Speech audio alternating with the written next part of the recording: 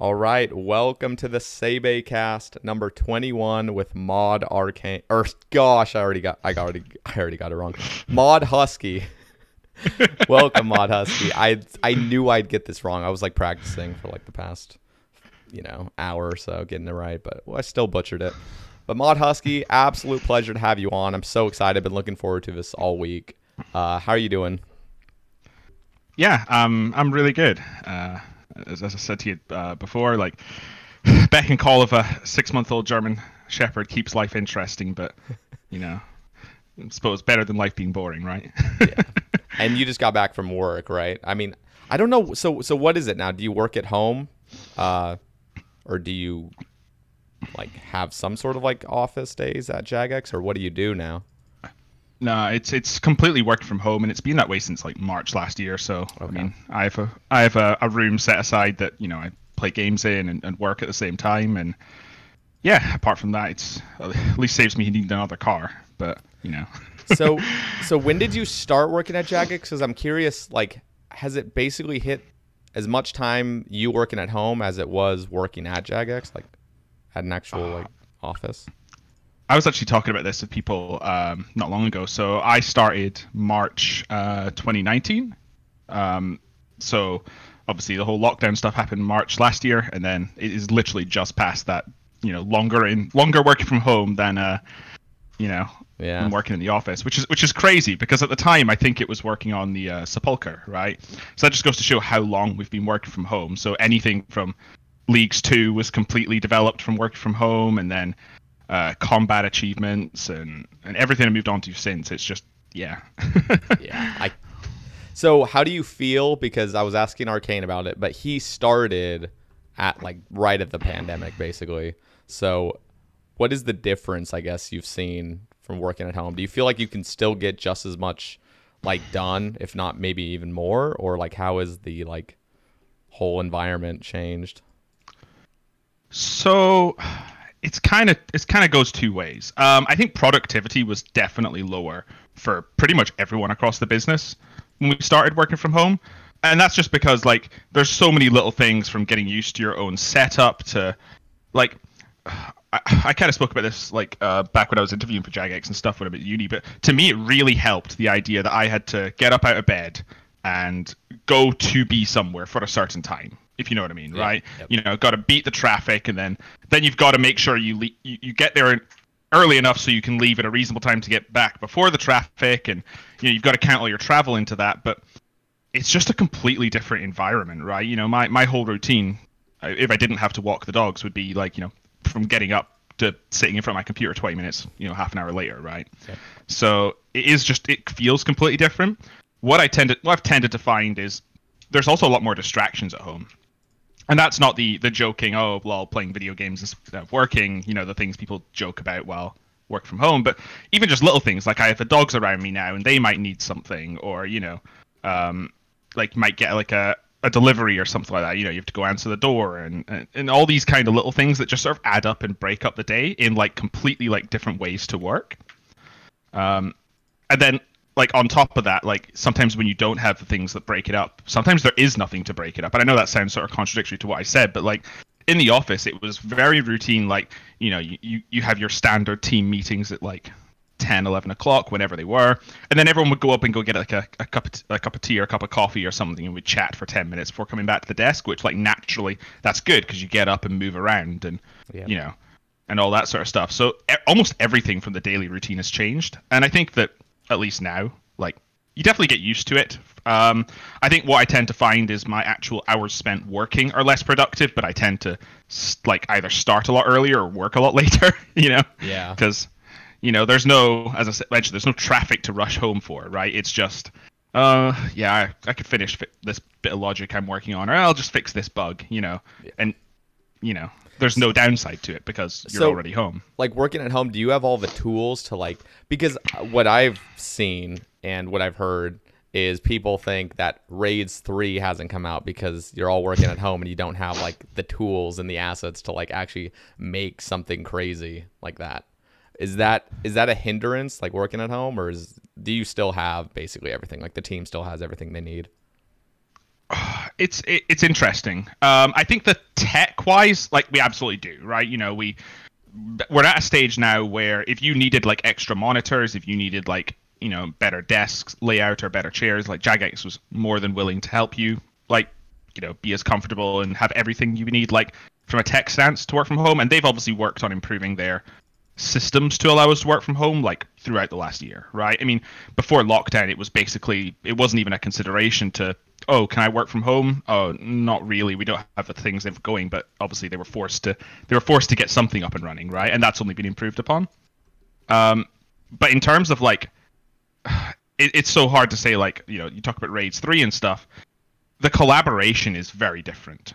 Um you can imagine like going with your your your colleagues to like a, a, nice boardroom and a whiteboard and you're you're chatting and doing stuff and drawing stuff and all this sort of stuff but you could all be in a room doing that all at the same time but now there's like all these like there's sort of online tools to sort of get around it you know like miro boards and stuff but it just doesn't quite feel the same if you know what yeah. i mean so in a way yes we've got everything we could possibly need to be as productive and uh, as as we you know as we could be but I don't think there's anything that like replaces the sort of peer-to-peer like communication and collaboration because ultimately a lot of our messaging is sort of done through online messenger right? And how many times have you seen somebody you know misinterpret what you're trying to say because text is very limited you know? Yep. sometimes the points you know when you're speaking to each other and you know you could your facial expressions hand gestures and all this sort of stuff it, you really do like find that like miscommunication happens a lot less often uh, and obviously happening a lot more often work from home. So yeah, it's not as straightforward as you know. Is it perfect? Is it not perfect? I, I, I think I'd still rather be in the office, but yeah, you know. Well, that's cool to hear because uh, I mean, I, I have no idea what it's like to. I mean, I, I do work from home, but I don't know what it what it's like to have moved from like a Jagex office and then having to do everything at home. But so I'm curious. Uh, I actually want to just basically instantly go into the Twitter thread because it relates to kind of what what made you start at Jagex, like what made you like get to this point where now you're working on old school and you've you were playing old school beforehand. So solo mission asks, what was your career slash education before joining Jagex and how was the interview process? And then he continues, how or has development brainstorming started for Leagues three? And do you think it'll be hard to top Trailblazer as so much as on as or as so much was on offer in that in that league. I'm just having a struggle right now. Oh, that, that's such a lot of questions. So, I mean, we'll starting off from where I yeah. starting off from where I came from, right? Uh, so I originally did uh, two years of chemical engineering upon leaving university, which is probably not what people expected to hear. Um, that was, long story short, I was very good at math, physics, and chemistry. Uh, those are the grades I got the best at at school, and I was like, okay, I'm gonna pick a degree that that utilizes all of those. That makes sense. I'm good at these, and let's pick the. Don't pick your careers that way, right? it just doesn't work. Um, what happened was I just didn't do that well. Uh, I barely scraped past my first year. I failed my second year, and it was like, you know, you're coming to those resits. You're maybe having to explain to your parents, hey, yeah, this summer I've got to do some practice these resits, and I mean, I, I, I turned around and I was like, you know, like, mom, I know you, you've, you've paid for me to go like all the way down to, to Edinburgh to to study, but I don't think I want to do this degree anymore. And she was super supportive. You know, she was like, um, like honestly, if that's what you want to do, we'll support you with it. So I had a year out working at a Wetherspoons, which if anyone like listening is from the UK, that's like the cheapest, most basic like commercial bar like across the UK, basically. and it was kind of an eye opener, right? I was like, I don't really want to do this for the rest of my life. But at this point, I wasn't even playing the game, right? Um, uh, so I look back at what I did at uni, and I was like, you know what? While I just scraped a B at computing, I really enjoyed like the programming stuff, right? You know, like we were asked to make an MP3 player as in class, and I'd go into the library and like, you know, we only had like play a song and stop the song, but I had to pause, volume up, fast forward, rewind, all this stuff just because I thought it was fun, right? And looking at it like that, it was like, well, you know, why don't I just go into some sort of education with computing, right? Because it just makes so much more sense. Like if I'm just going from fun, and to me that really just helped because you know, I, I literally wanted to learn. Do you know what I mean? The grades yeah. came because I was interested in the subject matter and wanted to learn. Uh, during my uh, second year, I, I ended up picking up the game. Um, now I played back way back in the day, you know, back when we were all kids. And, Yeah. Uh, eventually moved over to World of Warcraft, blasphemy, because all my friends did. But you know, the game the game was still a strong part of my like you know first time gaming experience. Yeah.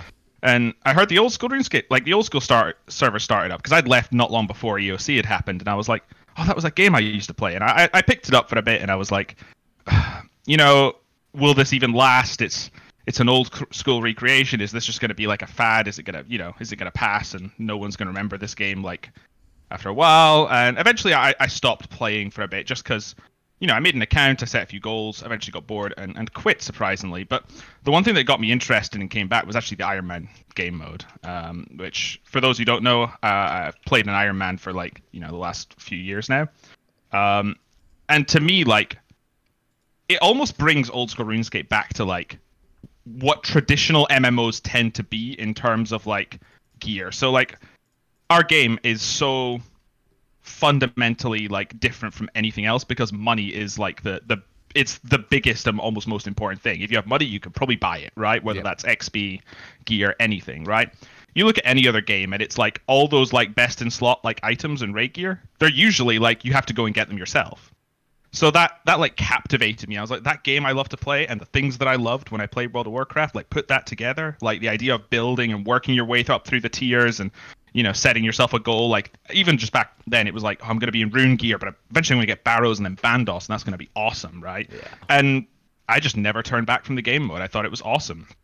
Got really, really into the into the game and the community then, um, which obviously led to watching all the Q and A's and you know watching how awesome the team is and how passionate they are. It's just like more so than wanting to work on the game. I was like, I just want to work with this team. This would be awesome. So came to my final year of uni after I've been playing for a couple of years now, and I'm like, you know what, I'm gonna I'm gonna apply for this. You know, because you're sending out your applications to all these different companies. You know, um, some of them were gaming, some of them weren't, and I sent out this application and and yeah, that was how I got the job. It was um, it was a long shot, but you know, I guess it's kind of not quite how I got the job because I actually I was interviewed. Um, I phone interview. I came down to the office for a face-to-face visit, and I didn't actually get the job the first time.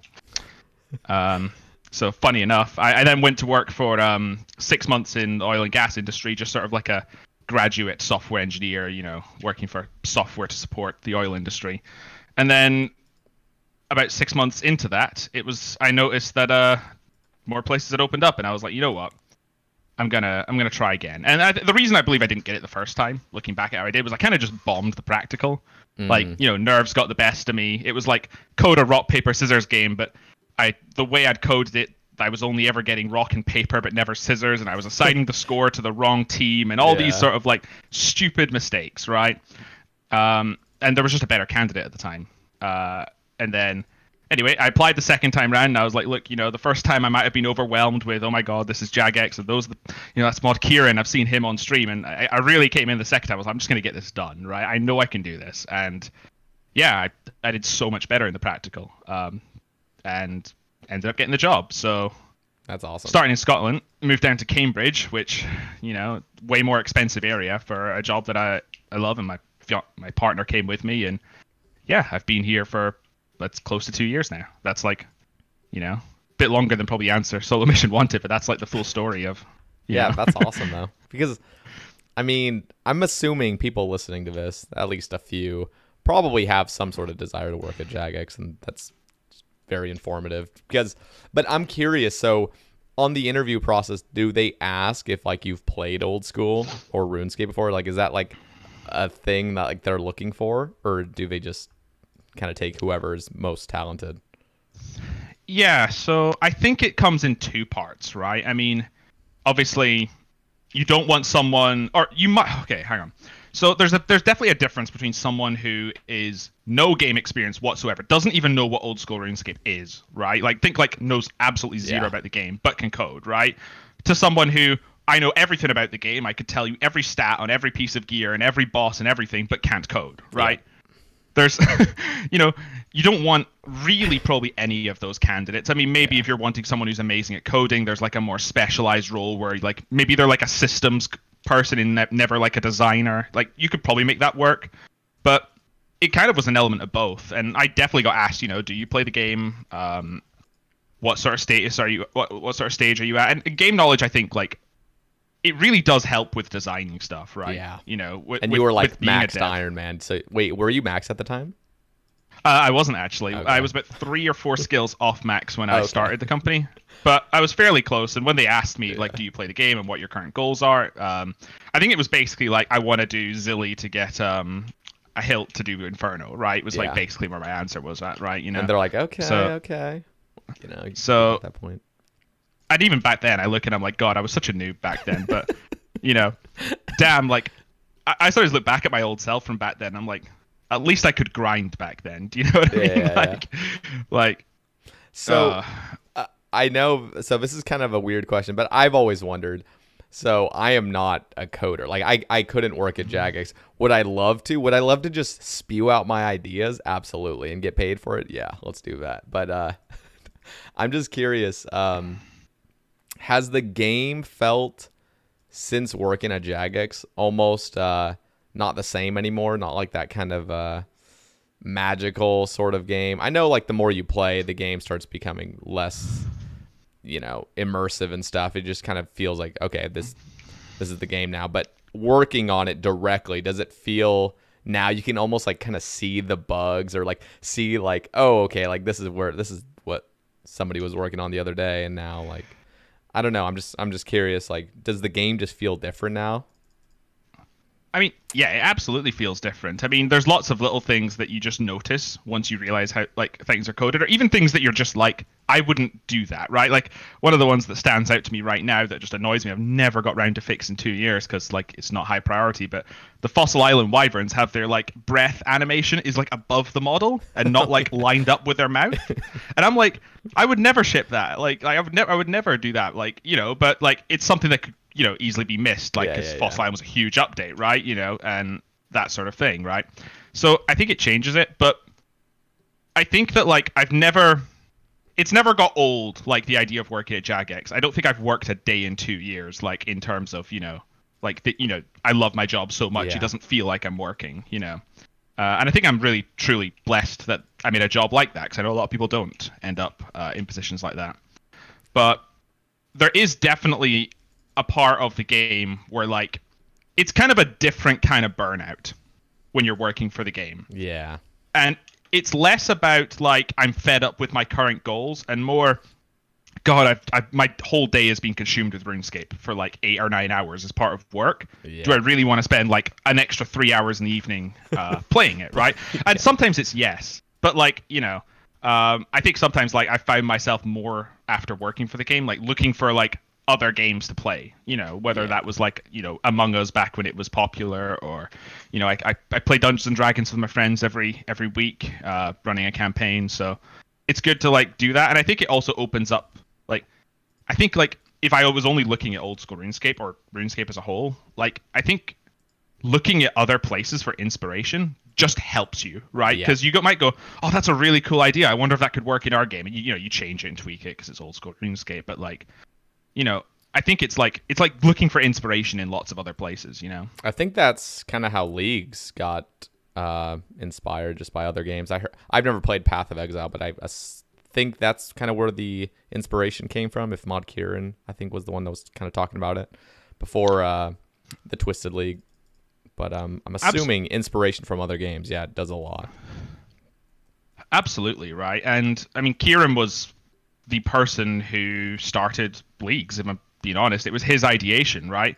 I think he was just like, "Hey, wouldn't it be cool if we reset the old school servers? You know, like every now and then, and just had a leaderboard, right?"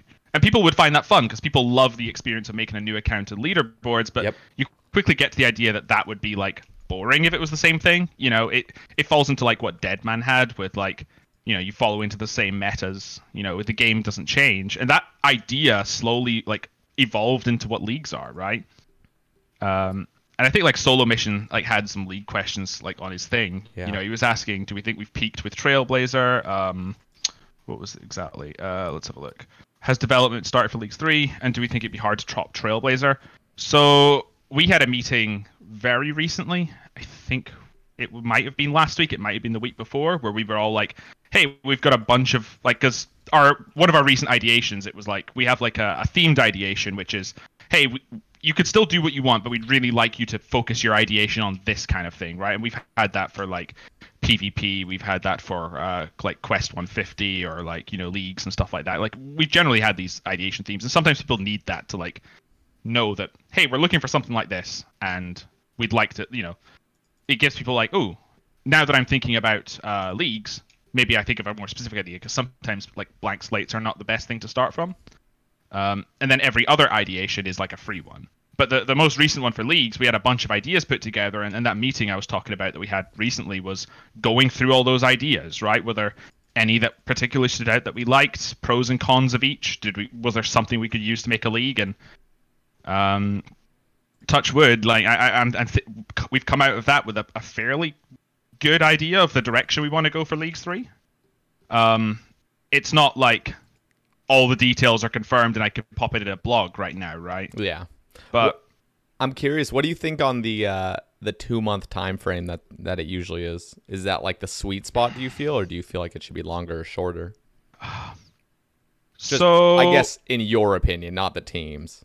Yeah. Um, I think that Trailblazer, for example, lasted too long, and I think Twisted did as well, right? Yeah. There was definitely a notable drop off, like, oh my god, there's a lot of hype two, three, four weeks in, and then you notice like it peters peters out, right? And that's not even from players who stop playing, but obviously that's a metric you can use to show it. But I played both leagues to the end, and I noticed that that was the point where like I stopped being interested in my goals, right? Because I mean, it just makes sense, right? If, even if a goal was to say I'm going to get a T-bow, getting a T-bow like week two is would be awesome because you've got six weeks of T-bow left, right? Yep. But getting a T-bow with one week left is like next to pointless in like Twisted League because yeah. you know it's going to be deleted in two weeks, right?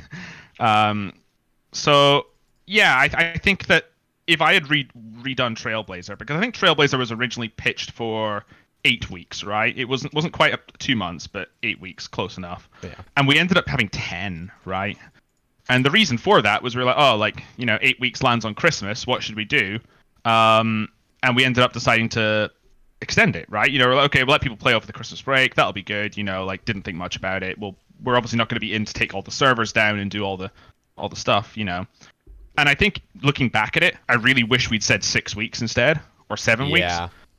Because, and I think it really does come down to different rules for different leagues, you know.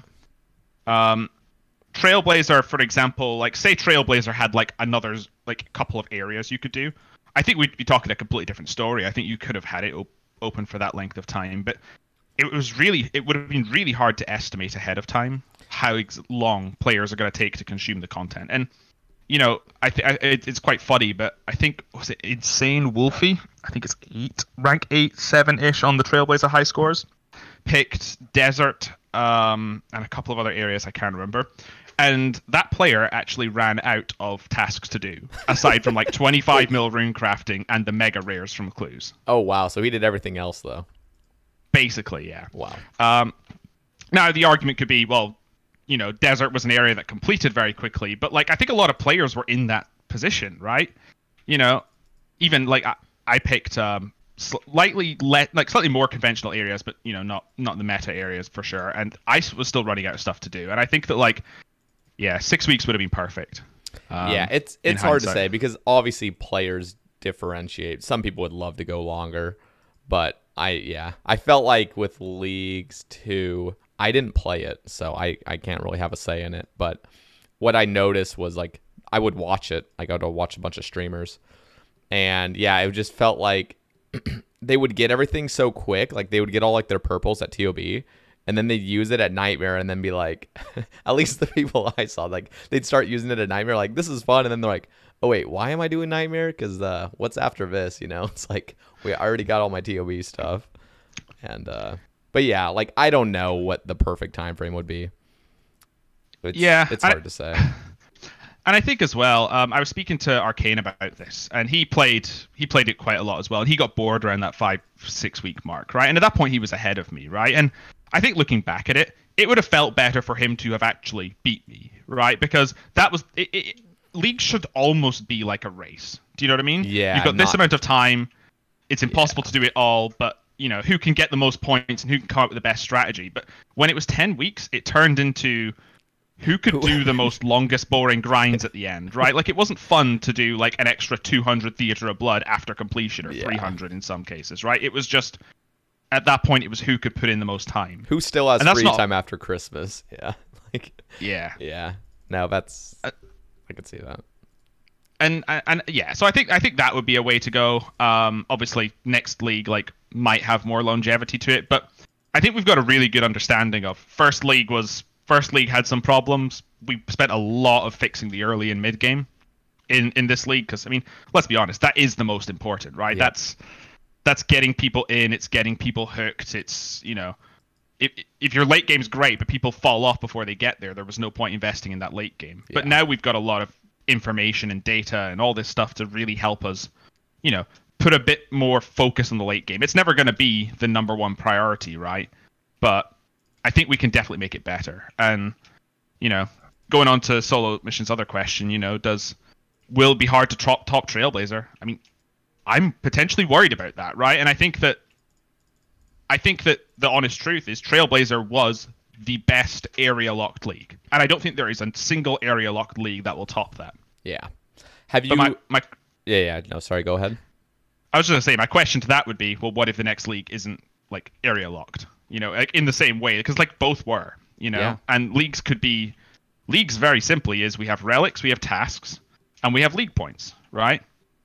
And you know, points determine how you win, and and relics help you get there, make choices along the way. You could have so many different things with different rules, and and you know, I'm excited to see like how the idea we've got develops. You know, Yeah. based on that because you know does that mean it could be worse than trailblazer perhaps i think trailblazer was like the it, it, it was such a good combo because like the it wasn't even the, the rules themselves but just the ability to pick your dominant combat style made it so much more interesting and replayable Yeah, right sure. you know there's a different feel from someone who goes range Tirannwn and picks up blowpipe to someone who goes melee Tirannwn and picks up Saeldor, right? Yeah. Like, and both would be viable. So one of my sort of ideas is, so I I don't know how you guys are gonna do Group Iron Man. I know a lot of the like hype has completely died down at this point. Um, but I always thought it would be cool is if you guys did a league that introduces the Group Iron Man aspect. So you do the league with a group of four people, and it's and it, it would almost be like a test run to see how Group Iron Man would actually be because it could only just be like a month or two long and uh, I feel like that would be awesome. I don't know what the other relics and like potentially area locks or whatever you're gonna decide to do, but I thought it would be really cool as if you could do like a kind of like a group Iron Man test for a league, and then if there's something extremely game breaking and oversights that could have potentially been released to a group Iron Man in the main game, that can all be fixed beforehand. That's what I always See, thought would it's- be cool.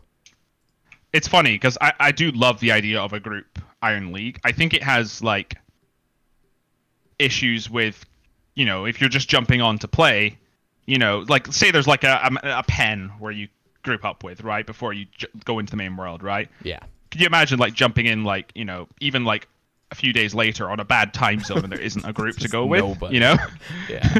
so it has problems, but like it could, ab- it would absolutely be fun, right? You know, to do that. And Yeah. I think like, I think like it's just the, maybe it's the developer in me that would say we should probably do le- like group Iron Man first before doing the league and fix the issues with the system.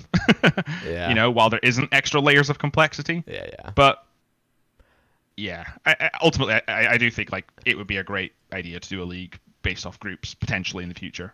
Have you But thought? just because yeah, yeah. Sorry, go ahead. I say just because I think that's a great idea now, though, it doesn't mean like you know I'll think it's a great idea or the team will think it's a great idea like Yeah. you know a year or two from now. You know. Yeah. What do you think about Group Iron Man? Because I remember you on the stage, you know, revealing it, and uh, I like everyone was super hype. In fact, I was so hype, I was already trying to decide my team. I was like going over to people, I was like, "Hey, you want to be on the same team?" And then it just slowly has just died down. And uh, some of the people that I even wanted on my team have just not they're not, like they're not even playing anymore. So it's just like, oh, like. But uh, yeah. I, I'm just curious, like, well, here's there, it's like a, I guess a multi-layered question because Group Ironman is inevitably going to have so many issues and f- flaws with it, especially regarding like when a team member quits and what happens to their stuff, like their items, you know, and things like that. So we don't need to get into all of that, but I guess what are your thoughts on it? Yeah, I think I mean I feel really bad, right? Because, you know, I I well and truly believed when I went on that stage that we would have a group Ironman in 2020 and I mean spoiler alert for those who don't know, we haven't got it. It's not 2020 anymore, right? so, I mean, like I feel bad because like people like even some people might think, you know, Mod Husky promised that, right? And you know, you all, single-handedly all I... were gonna make that for us, yeah. and you know, it it didn't happen. Um, I know like companies across the board have like this um like thing of like blaming the the pandemic, right? The the situation, and I, I can't disagree that it's had it's had an impact on our entire release schedule, right? Yeah. We spoke about the start the difficulties of working from home, and that only like that only grew because like while like even if the old school team, for example, got up to grips with everything working really well, Clans has dependencies on other teams, right? Like it requires high scores work, it requires engine work to allow us to do the grouping, it requires, you know, so much more than just that. And ultimately, like, we need to get clans done first, um, because clans is our test for getting making sure the permanent grouping system works, you know, and it's the most basic form of it, right? You know, yeah. um, and clans got delayed, right? And this isn't like I, I, know people can look and go, well, if you hadn't spent time doing a fishing skill boss, you might have had clans out by now. And, and we've worked on both simultaneously, right? We have a team yeah. that was doing each one, right? So it was never a case of one or the other. And it really is just, you know, unfortunately things get delayed. You know, the, the entirety of clans, whether COVID or not, got delayed. Um, I personally still think the like guesstimates that were given uh, but RuneFest were maybe a bit too optimistic, right? Yeah.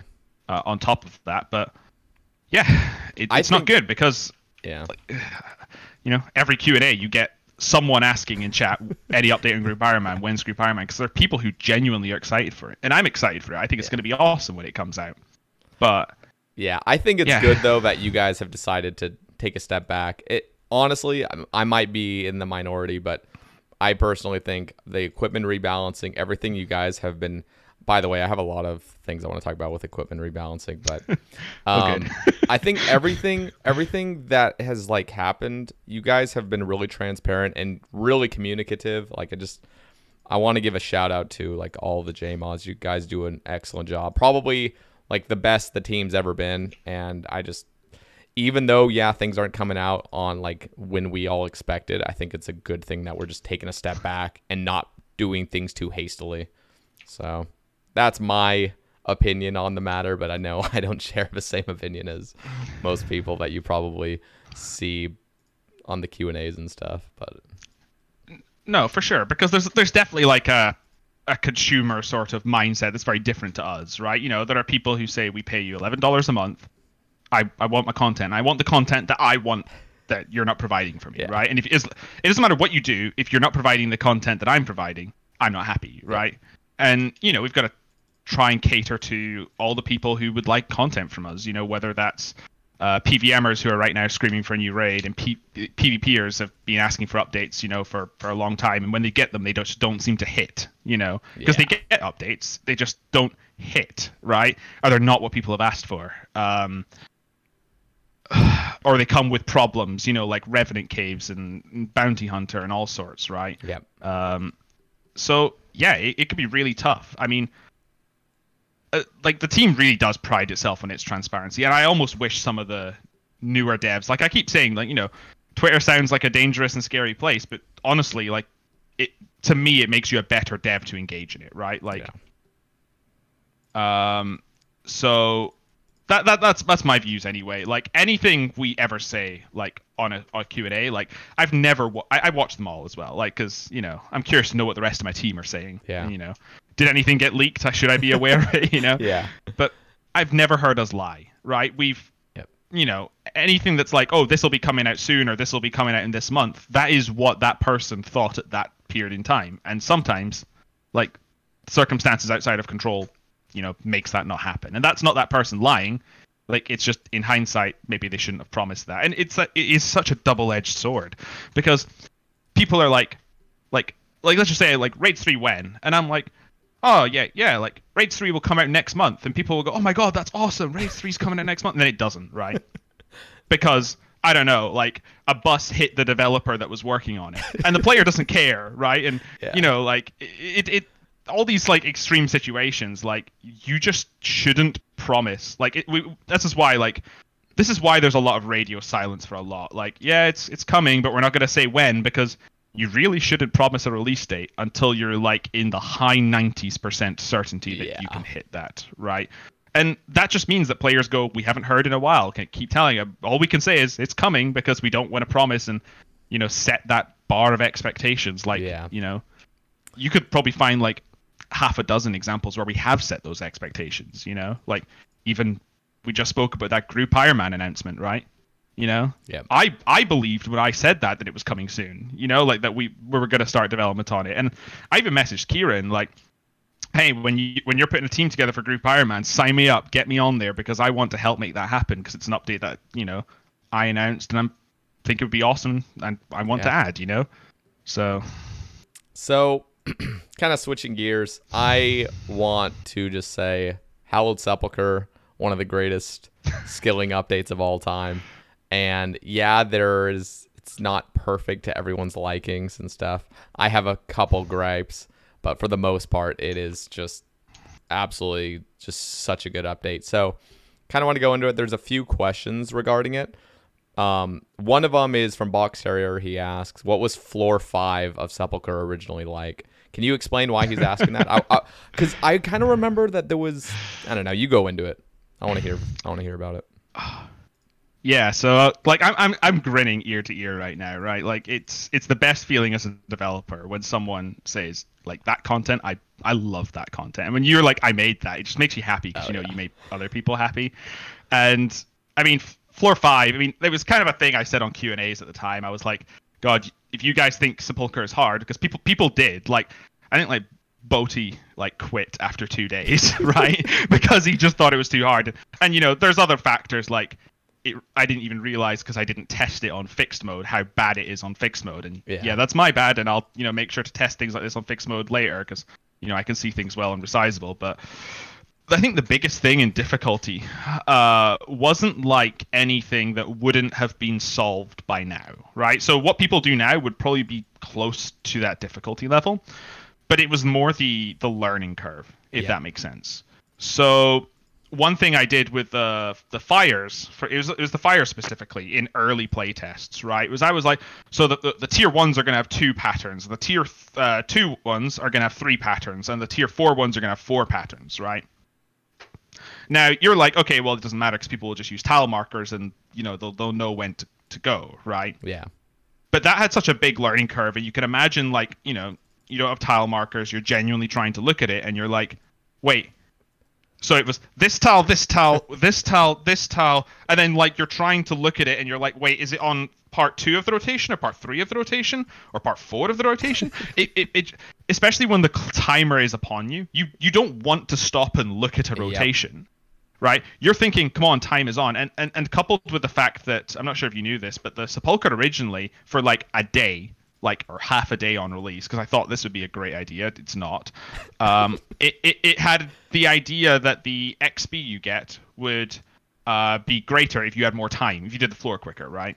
Okay. But the the problem is that there's like there's already a layer that the slower you do the floor, the less XP you're getting. Yeah, Because yeah. obviously, you know, Yeah. that, that so you're almost compounding on that right you're double downing on it uh, to like the extent that like the people who did it really fast are up here and the people who did it like you know Just barely Um, completed it, or just w- are- are half way further down. Yeah.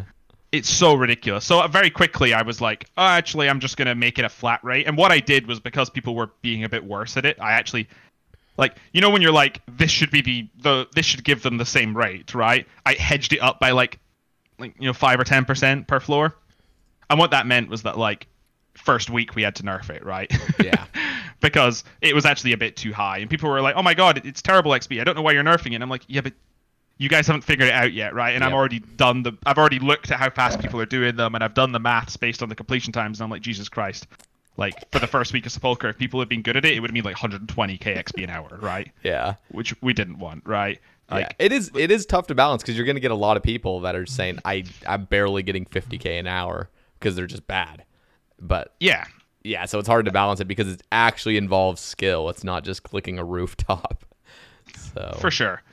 But yeah, in terms of difficulty, you would have had a lot, more, like, a lot more of a harder time figuring out the fire patterns. And on top of that, I think all of the arrows were about one speed faster per floor. oh wow. So you would have been t- like, if you couldn't see them on screen anyway, like it was, it was even faster. And this was, this was very quickly fixed. Like, and this is something I advocate to almost every developer. Like, playtest your content, right? I sat in Sepulchre for like a week when it was finished development, just just running it. Just like I probably put about 80 hours in Damn. over the course of a week and a week and a bit, whatever. Like, because I was doing it in my spare time as well. And um, fun story actually. I actually got so fed up of trying to use spreadsheets and counting ticks to work out my XP per hour that I did a really hacky like XP per hour overlay uh, in the in the main game just because I was like, I need something to actually do the math for me while I can just focus on this course, right? Yeah. It's it, it's nowhere near like it couldn't be just oh I, I already hear people oh my god like you know vanilla client can have an XP track. It's it's it's so hacky and rudimentary, right? Like Yeah. it can only track one skill at once. It sometimes crashes your client and for like a cycle and all this stuff because you know I just wanted something working um, for the purposes of it. Like um, if those could be fixed, right? But Yeah. yeah, I had to do all that, and I, you know, I was I was timing my own XP per hour, and then I was trying to be like, okay, I, I got re- I got really good playtesting it. That I was like, I'm just gonna try and make two mistakes per floor and see what like XP per hour I get now, you know, Yeah. uh, to simulate like a worse player and try and do all these these things and and you know what what I say I was good at it. Like players have been doing it for like eight hours maybe before I finished work that day, maybe nine or ten hours. It was it was you know quite a long day as you can imagine on release, especially because that um what happened on the release of Darkmeyer with the rollbacks and stuff. Oh Um, yeah, yeah.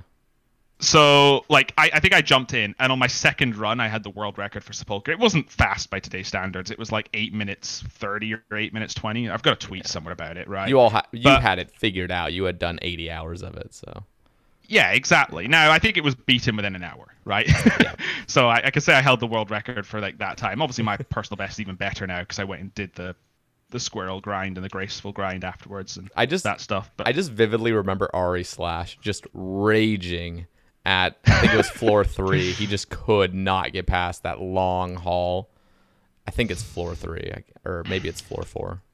no, it's floor three, and it was the bane of a lot of people, right? Like Yeah. it was that it was the first part where there was a combined trap. Yep. And honestly, like Sepulchre was so much fun to, to develop, like and to come up with what I wanted to do because I, I, I, I, straight away like said like I want like three primary traps and I was looking around like these are gonna be things that are, you know, like a fire trap, an arrow trap, blah blah blah, right? Yep. A sword trap. And then I was like, but we need to make them harder. So then I came up with the idea of, of secondary traps, right? And these were your teleport tabs uh, tiles on your lightning, right? These are not going to make them fail, but they're just like an extra thing, an extra layer, right? Yeah. And then I, I- quickly came out with the idea of what if there were ever two primary traps, right? that was that birthed the floor three, and that that that like idea of the fires always alternating is like something that you need to learn to do the Sepulchre period, right? Because Yeah. that happens on floor four and floor five as well. Um, but it was so much fun working on the design and trying to think how would an arrow fire trap work? How would a sword fire trap work? And the sword fire traps don't work very well. I think that's why there's only one of them. Uh, but I wanted to have the combination, right? And yeah. and yeah, it was a lot of fun. Uh, so Something I don't know. I something I love about the sepulcher is like yeah that that flame sword trap the like the singular one that there is. I'm really glad that everything syncs up so you're not just screwed because I remember thinking like there was literally like a three tick window I think maybe maybe even less where I can actually run past this thing without like getting hit by anything and I'm glad that it's so like it's got the randomization occasionally, but everything is pretty well synced up, and I really like that because it. I mean, oh God, I hate to be like sounding big headed and pat my own back, but that that isn't that isn't an accident, right? This is those Yeah. 80 hours of playtesting I was on about, where I'm like, God, I did this perfectly, but I'm sitting here waiting for like 10 server cycles, 10 ticks, yeah? Yep. Before I have to go. That just feels terrible. Like this is supposed to be fast paced, so you play with the pattern a little bit. You play with the timings of when it starts compared to like when the floor starts, you know. Um yeah, all of this stuff was like trying to get that and it, it does feel really good. In fact, I think I actually changed that trap slightly on release because if you missed that window, you there was actually like you had to you had to wait like a long time. So now there's technically two formations to solve it. If you know what I mean. Like, oh yeah, is you it when wait. this? Yeah, yeah, yeah. I think I, I've only done my little bit of sepulcher, but yeah, I think there is a secondary window.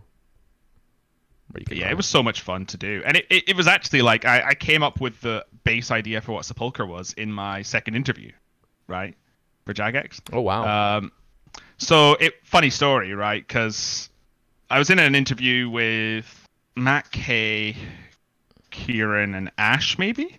I can't remember. I know Mat K was there, right? And he, he likes to throw like these random questions, just whatever comes off the top of his head, right?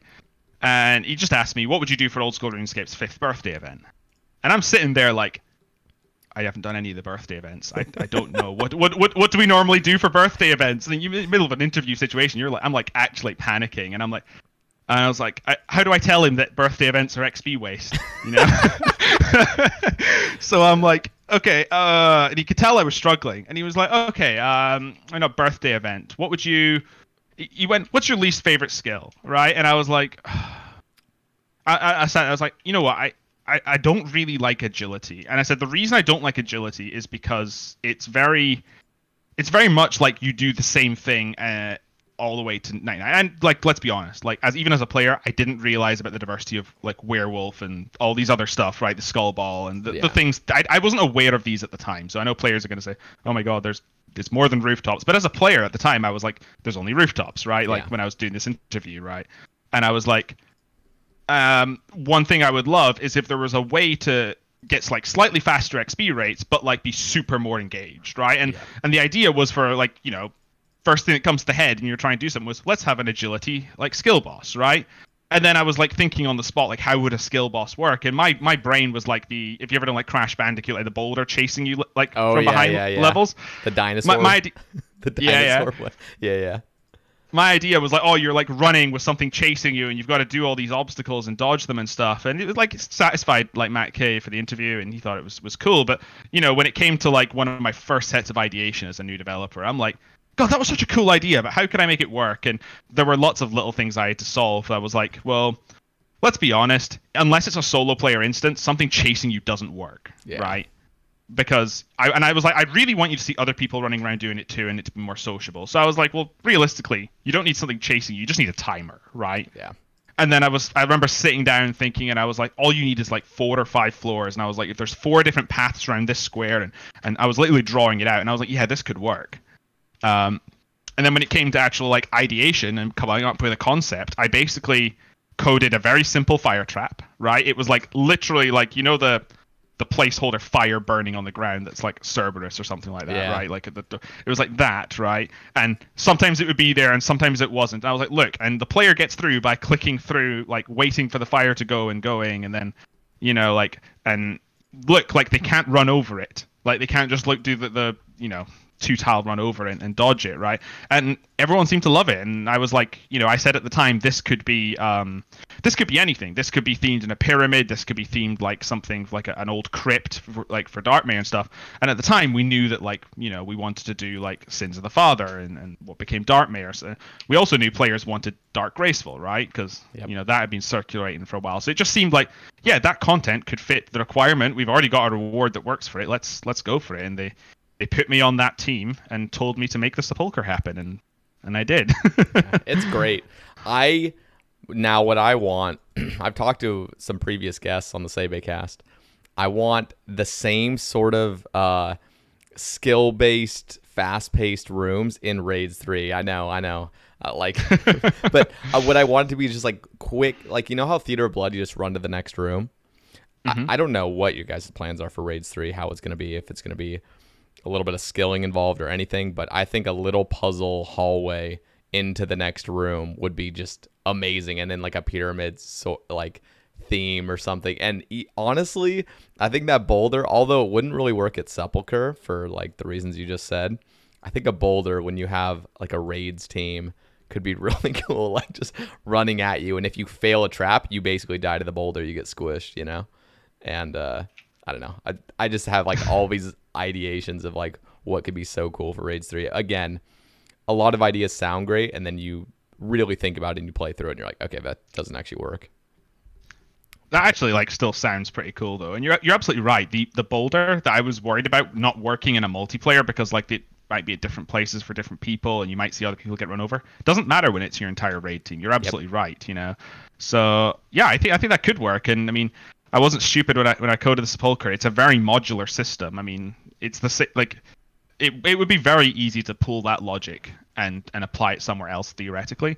Uh, so yeah, I, I I don't know what's going to be in Raids three, but you got me on board with thinking that's a cool idea. You know? yeah. Uh, There's just and uh, that that's the the coolest thing about Sepulcher. It's, it's just fast paced. It's just fun, and there's no like sitting around or anything. Like I think implementing that in other areas of the game is really cool. Instead of just click boss, click your prayers. Like you have some sort of like agility traps. I think that's awesome. Yeah, and I mean like so it's like has that a little bit, right? Yeah. You know, and I think the part of what I did was like you know what it was roughly around the same time I was doing Sepulcher that I was learning Sotetseg. And I mean I don't mean like learning how to the fight, but like, you know, the idea about like these L movements and these diagonals because like if you don't need to learn know those to do any piece of content in our game, but like even from anything like corrupted gauntlet, if you understand how the player like pathing algorithm works, there's so many little advantages. And there was a little part of me that was like, I kind of want people who do the sepulcher to like learn this without like super realizing that they're learning it, right? Yeah. Um, and and I think it does that fairly well. Um, that that was always the goal because like there's little things like the I mean that's how the arrow traps work essentially. You want to do your last L movement like once and then keep going. Do you know what I mean? Um, without like losing any movement time. Yeah. And honestly, it's like it's just something that like helps people, I guess, like understand. You know, because listen, corrupted gauntlet. It, it's it's all like the amount of times I've died in corrupted gauntlet because I didn't like you click and your character runs all the way along dangerous tile. yeah. Because or you, you click backward and you run straight into the flame because the the tick just hits you with all the flames at once because you run immediately back, even though you thought you were moving diagonally. But yeah. Yeah, yeah. So yeah, yeah that was that was the thing. I think yeah, I I could just go on for hours about what I think Raids three things would be cool, but that little boulder mechanic with the Sotetseg maze and the boulders getting faster, so you really got to know your L movements. I think would be just so awesome because I love the Sotetseg maze, and I hear a lot of people just that's their favorite part of that room is just the little quick, you know, L movements into like the fight again. I think it's just cool. Yeah. yeah. Every time I do that room, I'm like, come on, let's see if I can do a tick perfect maze yeah, and like exactly. and like and you know, there's a little part of me that's like, I hope this doesn't kill everyone else who's not ready for me to be like trying to do it. But at the same know? time, you're like, I don't really care. just want to send uh, it. Yeah. But yeah, I mean, you're absolutely right. Like this stuff could be applied to Raids 3, and I think it comes down to do like the developers that work on it. Do they want it to be more like chambers or more like theater of blood or maybe it's a bit of both right? Because you know chambers has those little like skilling breaks between bosses you know? And yep. even if you took away the randomness you could still have that. I mean like challenge mode literally has that right? Yeah. Um and i think there's an interesting like you know we've now got two raids to look at when it comes to raids 3 and i think there's a lot of good things from each of them. I think there's a lot of bad things from each of them too you know? Um the like PVMer in me loves the Tob death system, right? The idea that it's not just free and you come back. But I'm also aware that that's like one of the reasons Chambers of Xeric is so popular, right? And it's so easy for people to get into because yeah. you, know, you, died and yeah, you just lost a bunch of personal points, but you know, you you, you feel like it was you, you feel like you could just get straight back in and you know your team. So there's pros and cons to that. There's I think regardless, I, I wish Chambers was dangerous for hardcores, and I yeah. I don't imagine us going back on that with something like Raids three. Um, but honestly, like, you know, uh, there's so many little things to learn from. Yeah. Um, and it's just cool because I feel like you guys are all just improving, uh, and you know what can be really good for the next piece of content. Mm-hmm. And a, a little shout out. I want to stay on the.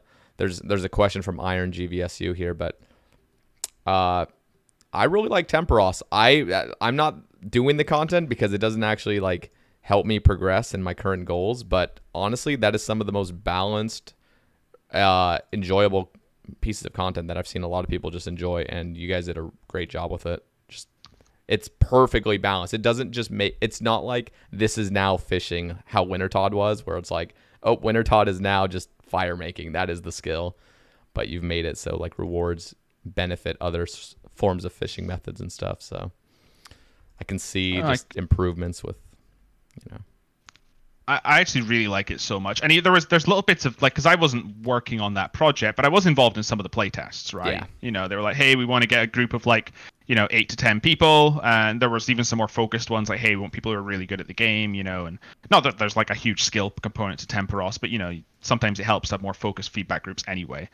Um, I, I I personally love that the jumping fish mechanic was one that I suggested, but I'm like, God, you're just fishing like you know, you're just fishing like there's no there's nothing. You're just filling up your inventory, and it was like that jumping fish mechanic just adds like such a nice lev- level of depth. But there's so many things I. This is the hard part as a dev is content feels different when it's your own account, right? And part of me was like, oh yeah, this Tempoross stuff, this is cool. But I started doing it on my own account, but there's just something about like saving up all your rewards Yeah. that hits different when it's your own account, Yeah. right? It's not just a test account that you spawned a crystal harpoon on to do your play testing with and all stuff. You know, it's like it's like, God, this actually feels nice. I I, I low key want to make a change to Wintertodt, uh, to make it get rewards the same way, yeah. because I I don't like that crate system. Although I know there's like. Would that be OP for Ultimate Iron Man? And there's lots of other considerations. Yeah. like people have the items already. But like, I'm curious to look into it, right? Yeah. Uh, to think about that. But no, I think I think there's something, and and like I really like that. Um, you know, they makes the harp dragon harpoons relevant and the crystal harpoon. You know, yeah, they're both was- they both got their like benefits, right? I think one's more for XP, I believe. but even beyond that, they now just have a, a general use in the game. And I know like you can talk about like two tick swordfish and stuff, you know, but yeah. like it's such a niche use that, um, like now there's a reason for almost anyone to have one, right? Yeah. Um and like this is like one of those things that's like i didn't even realize until like after it came out and i was like oh i don't have a dragon harpoon. I didn't realize i didn't have a dragon harpoon. I should probably go get one right? And, i'm you know going back to worms and doing all this stuff and you know it sets goals for accounts to get that stuff because Yeah. you, i'm sure you know what it's like. You don't want to be inefficient before you do a, a, a bit of a grind right? I went I went two Uh, times the rate on my harpoon, so I was just uh, you know uh, you know when you're just struggling when you're skipping tasks to get worm tasks. It's just like oh god, I'm skipping nechryaels and smoke temples just so I can get some worms quickly. Yeah. I, uh, I think we had a similar experience. I wasn't quite two times, but I was just shy of three thousand for mine after Yeah. release. And that was like with like five or six hundred before that. So Yeah, I got my first one from raids, and then I turned it into an, an infernal one, and I was like, okay, I really want a crystal harpoon, but I can't revert this infernal dragon harpoon. Yeah, yeah, I, I I got two swords from raid, so I didn't have the good bad luck, so to say. yeah. Um, So, Iron GVSU, uh, I just want to quickly get into it. He just he says like Sepulchre some of the best content, and he's curious if you guys are planning on any interesting skilling ideas for like other skills potentially, something or it's like very engaging. Have you guys thought about anything that's similar to just revamping a skill almost, but encouraging actual skill instead of just clicking? So I haven't seen anything like in ideation even, right? Like for something of the same level as Sepulchre. I mean, I've seen skilling ideas, right? But I haven't seen anything like that. But I think Sepulchre is a good reference point to um, if we want to do something like that in the future. But I think most importantly, whatever you do needs to fit the feeling of the skill, right? Like doing Sepulchre, like I mean, you're you literally feel like you're doing mental agility when you're learning it, right? You know, Yeah. it feels like you, you are training agility, but like I couldn't imagine a same system of dodging traps making sense for like runecraft. Do you know what I mean? It just Yeah. like like that's you could maybe see something with thieving if the goal was to quickly disarm traps, right? Yeah. Um, but I think that like while there isn't anything, it's definitely a good reference point for things to consider. And sometimes like it just takes the God. I'm saying like and, and all this stuff a lot, and people. Oh, I use all my Q&As. filler words. Don't even worry about it. Uh, Everyone's got their fillers. uh, like and right, and everyone complains about them. and you Q&As, but- know, you know is my big one, and it's definitely Defy Jay's big one as well. We heard it probably three thousand times. So Uh, but yeah, um, I think that it's it's definitely it kind of just depends what takes like a developer's sort of interest, you know. And, and I mean that like ideation is quite literally that. I mean you you're in front of a computer and you're thinking what could be a cool idea to add to the game, right? And maybe Sepulchre will inspire another developer. Maybe I'll have another great idea. I mean, let's be honest, right? I mean, my my idea for it came up from I had a something like a spark of maybe something in an interview, and I wanted to see if I could run with it, and it ended up working out really well. Um, it was also a little bit like as I was designing it, I was like, oh, God, say it again, but um, I was very much like reminiscing of Crash Bandicoot. Do you know what I mean? Yeah. because that was the original Boulder idea, and I just really wanted to get something that felt like uh, dodging all those traps. Yeah. Because Well, I mean, I, I don't want this whole Sae Bae cast to be just me spewing out my agendas. I want to get as much of the topics as we can out. But you know what would be really cool? So currently, crafting is just blow glass, farm seaweed, mine sand, blow the glass. But you know what's really kind of a shame is that you blow this these light orbs that never get any use. And I thought it would be really cool is if um, that place I can't even think of the place now. What's that place where the light orbs are from? uh, Dorgesh-Kaan. Dorgesh-Kaan. There we go. I was thinking Keldagrim, but that's not it. Um, yeah. So you know how like you fix lamps and stuff. What if the lamps instead of fire making XP gave crafting XP? So you're running around fixing these lamps and actually getting like use out of your orbs that just sit in your bank. Again, this is completely agenda. No final decisions yet, but I'm just saying like there is some potential for uh, interactive crafting instead of just sitting at your bank blowing the glass and then being done with it and having no use for it. I don't know. I think So- could get a little bit of love. Yeah, I think there's there's kind it's kind of multi-layered there, right? Because I agree with the premise of I hate that it's just glass. I hate that it has no use, right? Like I I wouldn't mind if it was dragonhide bodies that were the meta because at least you're alching and at Yeah. least they theoretically have like a, a, a use because it's armor, right? Um, I mean, who really uses light orbs? Even if even if they do have a use. And you can't even sell them Um, either because they're just untradeable. So you just Exact. Exactly. So I hate the idea that you know someone going for 200 mil has like you know like half a million of these or even more. You know like of these stupid things that are like not even useful. Because Iron Man to me as a game mode is supposed to be, you know, even if it was just alchs, that to me is fulfilling the game mode because it turns into alchs and you then use that money to fund something else and it feeds back into itself. You know like. So I definitely agree with you there. Whether it's a case of we need like a really active crafting thing with specifically more uses to light orbs, maybe that could fix it. I think I might look more towards is there anything else we could do with crafting to produce something more useful that's the meta? I mean, there's nothing you can do with like with Dragon Hide, for example, at this point, right? It's already pretty damn good for mains. I don't know if it is the best. Um, I think Black might be close, but to best rates, sorry, forgive me. I know there's all these main uh, listeners, and I don't understand the main EHP rates. So sorry. yeah, I think it's but- Black D'hide though. At least Thurko was getting mad at me for developing the three tick uh, Black D'hide crafting where you like three tick right before it and you can uh, get like an additional like 15k XP an hour. And he's like, well, my record's gonna be beat. So I think it, I think that I think that is like the meta. So yeah, I like there isn't anything you can do for that because the the biggest problem is not the actual crafting part of that. It's how long it takes an Iron Man to get it. I mean, when you look at it, and it's like it's it's ballpark 70-ish crafting XP per hide depending. I think it's something like 62, 70, 78, isn't it? Or Yeah, it's the- it's the- the- uh I think it go yeah, I think it goes up to 84 for black. I think 78 is. Or something I like think that, it's right? Yeah, no, you might be right, but I think it's 72 for green, but again, I might be wrong. So yeah, it goes up like that, and you think about the time it takes to kill a dragon, and oh, you kill a thousand dragons, and that, that that's a lot. You know, you get your your thousand dragons like 500k prayer XP on the Chaos Altar, Yeah, something like that. right?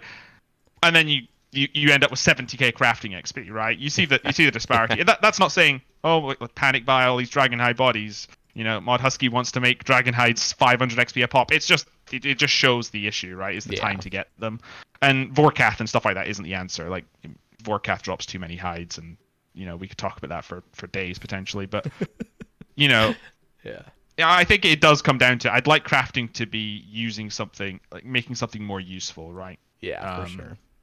And maybe, maybe the answer is moving some of the stuff that was pitched rewarding over to crafting, right, and making making them have a use. I just wish there was more choice. Yeah, for sure. I mean, the, the problem is there isn't competition, right?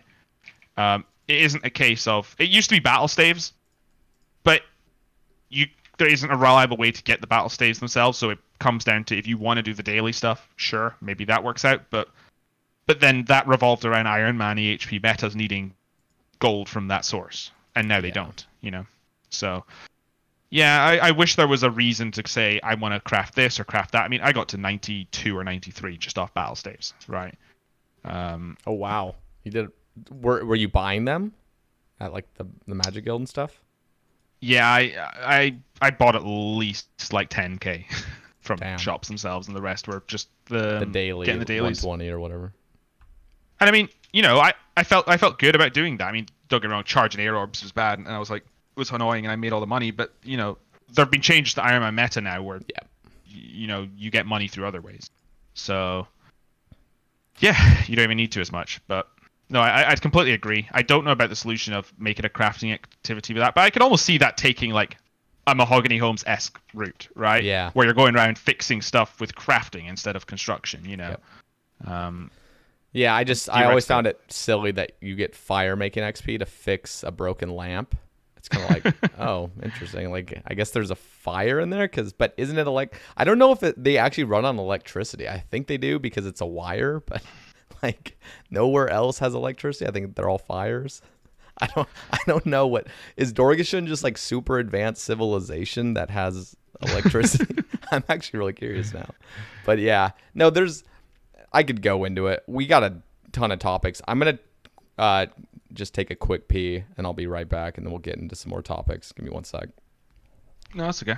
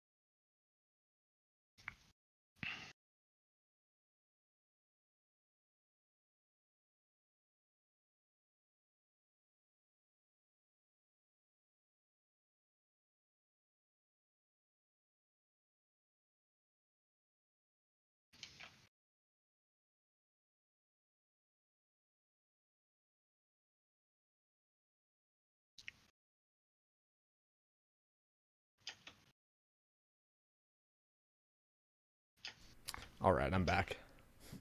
Oh, welcome back. All right. Um. okay, so this topic uh, is regarding the combat achievements, and Colby Rocket League asked, "I'd like to hear some. I'd like to hear about some of the combat achievement tasks." speci- Specifically, where the team looked for inspiration when making tasks and the level of difficulty they wanted to achieve. Basically, ramble about combat achievements.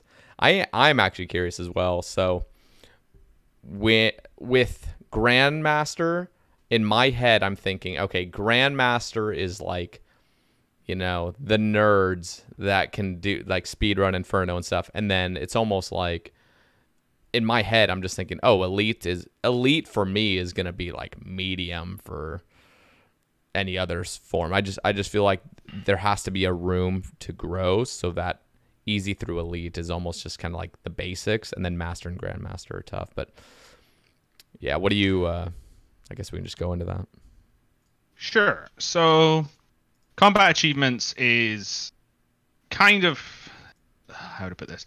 So, with the difficulty of them, the biggest thing was like looking at the bosses themselves. And one, I think the initial design had it as let's say let's take Vorkath, and Vorkath is an elite tier boss, and all the tasks should be elite, and that's not the way we ended up going with it. We've you know got a range of tasks now where you know Vorkath might have a Grandmaster task and a couple of masters and a few elites and that sort of thing, right? Yeah. But the biggest thing we ended up realizing when it came to the system was some of these bosses that reasonably you want to have on the system are going to have requirements that might not be friendly to all accounts. So pures are a great example. You know, can they fight Vorkath? No, because Dragon Slayer 2 requires quests that give defense XP, right? Yep. And it's it's not a case of saying, oh well, we have to make sure pures can get complete Grandmaster, and so there's no Vorkath task. No, we're not going to do that. But what we can do is say what we ask ourselves the question: what difficulty level are we okay with saying pures can complete, right? And the answer we came up with was hard.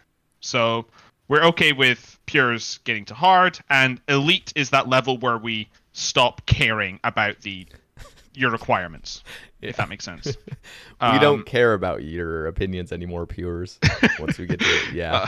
Uh, no, and I think that's. It's- I thought that was a great idea. You know, give you gave him a little bit. You know, where you didn't really necessarily need to in the first place, but that was very kind of you.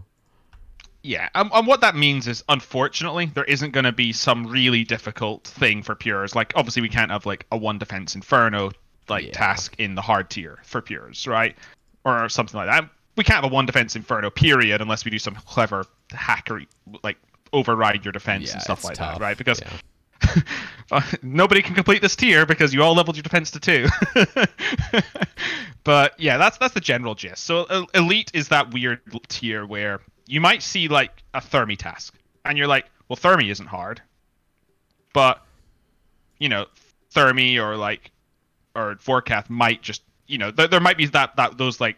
Oh, what am I trying to say? Those tasks that just have requirements. I'm trying to remember now because I'm now worried if I've said Thermi, but then Thermi actually doesn't have any requirements. I can't remember. Um, Yeah, I'm not in sure. terms of like but yeah, I know in what you mean. like defense. yeah. But yeah, you, you might have a few bosses at like elite tier where you're thinking this isn't actually an elite task in terms of difficulty in the grand scale. Like if you lined up all the tasks into an even cross section or something. But I, I don't think that matters too much because really the way the diary should be looked at isn't this task is too easy to be an elite task. What you do is you look at it and say, oh, we want um, this entire culmination of tasks at this tier represents elite. If that makes sense. Yeah. I can see. So that. there might be a f- yeah, so there might be a few that are a bit easy and there might be a few that are a bit harder, but ultimately that that entire tier is there. So in terms of task difficulty, um, I'm not sure if you saw, but I, we went over and revealed the Theater of Blood tasks. Oh, all of um, them? Yeah, uh, Oh, on the um, I missed we it. had a we had a we had a sneak peek live stream, and what we did was we we actually tried like it was part of the Steam launch where we showed off combat achievements, the progress, the interfaces, that sort of stuff. And the only tasks we revealed were were Theater of Blood, and I think that gives a general good idea of what we're going with. Um, so Elite is that you know we've got a we we expect most people who would consider themselves a PVMer to be able to do Elite and that's a really hard group of people. But you're, you're imagining the the person who's not scared of like Chambers of Xeric, right? And maybe dabbled in Theater of Blood and that sort of thing. And Master is the anything from there up until like completion of an Inferno, right? Is Yeah. is where we go with that. Because Grandmaster is specifically we we want these tasks to be generally seen as if you can't beat the Inferno, you can't complete the Grandmaster tier. Because let's just say Grandmaster was you beat the Inferno, you can't you know, you can do Grandmaster. There are a lot of things more difficult than the Inferno in our game. Right.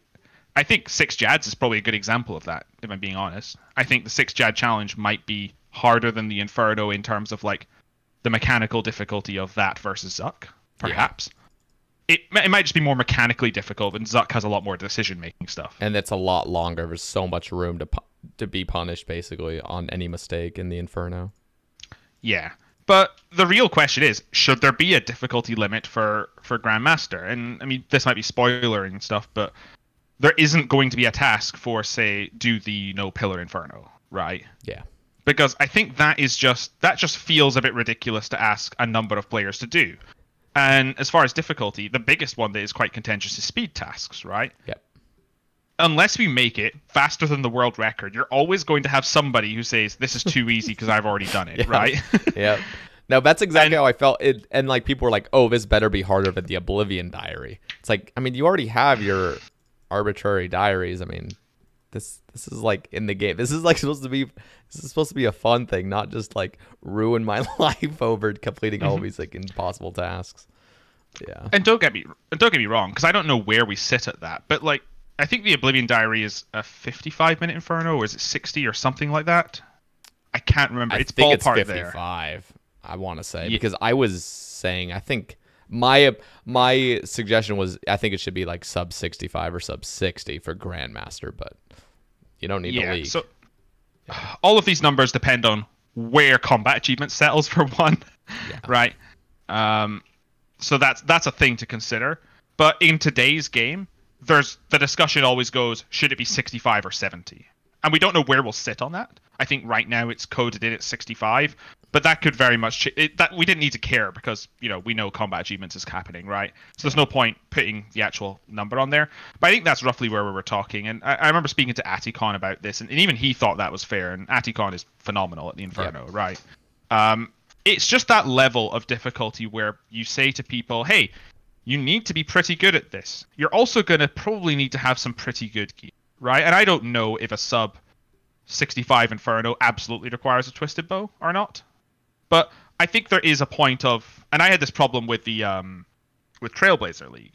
Uh, if you remember, there was a task for sub 75 Inferno on there, and I'm not sure if you were following it that much, but that was ridiculously easy for Rangers, who like world records were closer to 40 minutes, right? yeah. But meleeers, you had the problem of Zuk was so That- slow, right? yeah. So meleeers, 75 was a, actually a pretty reasonable challenge, and majors was obviously a bit easier than melee, but you know not as easy as range. Yeah. And you run into that problem when doing all these time tasks of what if we said that okay, we need to balance this around people not having a twisted bow. Uh, right. You run into the problem of oh, but if you have a twisted bow, it's just a free game, right? Yeah. You- that's tough. So it's a really fine line to get. And I think at the end of the day, even if 65 minutes is what we go with, and say there's no changes to equipment rebalancing theoretically, right? And that absolutely required a twisted bow to complete, and I can already hear like, you know, there are going to be Iron Men specifically are like, wow, you're saying that I can't do the Grandmaster tier until I get a ridiculous drop from raids, and I could just go super dry at and never get Yeah. you know because that's a fair that is a fair criticism um but i think it's more about aspirational content. You know there is still a world where new items could come out in the future that allow you to accomplish that time. Now there might also be new grandmaster tasks that come out with said content but i think that's just that, that i think that's a good way to look at it right? It's that aspirational content and it is something to aim for. If anyone has been burnt out and thinking i'm never going to get twisted bow and can't be bothered now they've got a real reason to. Yep. uh, but I don't think we ever want to go that level with Master. And I mean, just looking at some of the tasks, speed tasks are only one factor of combat achievements. They really are. They're not even the most important factor to me because if this was just com- kill the boss X number of times and kill it at this speed, it, that's not interesting. I'd rather not even. I'd just rather not do the update at that point. You Yeah. know. Uh, to me, combat achievements is about the super exciting tasks that get you thinking about the game in a different way, or make you do a boss in a way that like you haven't done before. And I'm not saying that nobody has done before. It might just be experiencing the efficient way to do the boss, but in a smaller scale. So if you could, and I think that makes combat achievements hit a larger group of people than maybe people realize, because people are going to say, "We don't want combat achievements. We want raids three. I've already done God Wars. I don't care about God Wars." But have you tried to, uh, like, you know, I'm trying to think of a good example. Have you ever considered um, doing Zilly like with like perfect flicks or like Bandos, or have you considered, you know, the the various ways and efficient ways to do like chin tasks for Kree? You know, and there are people who, like, I'm gonna steal uh, Mod Arcane's term here, but he he calls them Tob Andes, right? there are people who get into PVM, they do Chambers of Xeric, or maybe they jump into Tob, and that's all they do. Yep. That's all they need to do to make money, Yep. right? They, they're they're great at Tob, but have they really truly experienced every part of the game? Yeah, you definitely see how when they get, I just think of like Fudge Shover when he first uh, went to Chambers. He was a master at TOB and then he steps into chambers. It's just like a train wreck at first and that's what everybody has because they get comfortable with like a certain piece of content. Same thing with me with inferno. You might think oh like i'm i'm good at nightmare which is inherently not even really that tough but it's like i'm not good at the inferno because i just don't spend enough time there so yeah it, diversifying yourself with a bunch of different content is definitely going to make you just a better player overall So, so yeah, and I really think that the amount of people who can truly say I've already mastered all the content is so low that I think combat achievements will have something for everyone. Yeah. Um, it's also part of the reason for it was it's a good guide for new players. I know people, oh my god, we don't care about new players because we're people who just want raids three, but it really is like uh, the amount of times I've gone onto a stream and you hear the streamer be asked, "Hey, I'm like 70 to 80 combat level, and I have these stats. What boss should I fight?" right? And there's no indication in game of where to go with that Yep. because all Yeah. the bosses have arbitrary combat levels, and the big best answer that can now be given is, well, start with the combat achievements, work your way through easy, medium, and hard, and when you hit a sticking point, maybe at that point you're like. I should go level my stats, right? Or Yep. maybe the diary makes you, as we said, go do Dragon Slayer 2 because there's a task for Vorkath, and that sets a new goal for those people.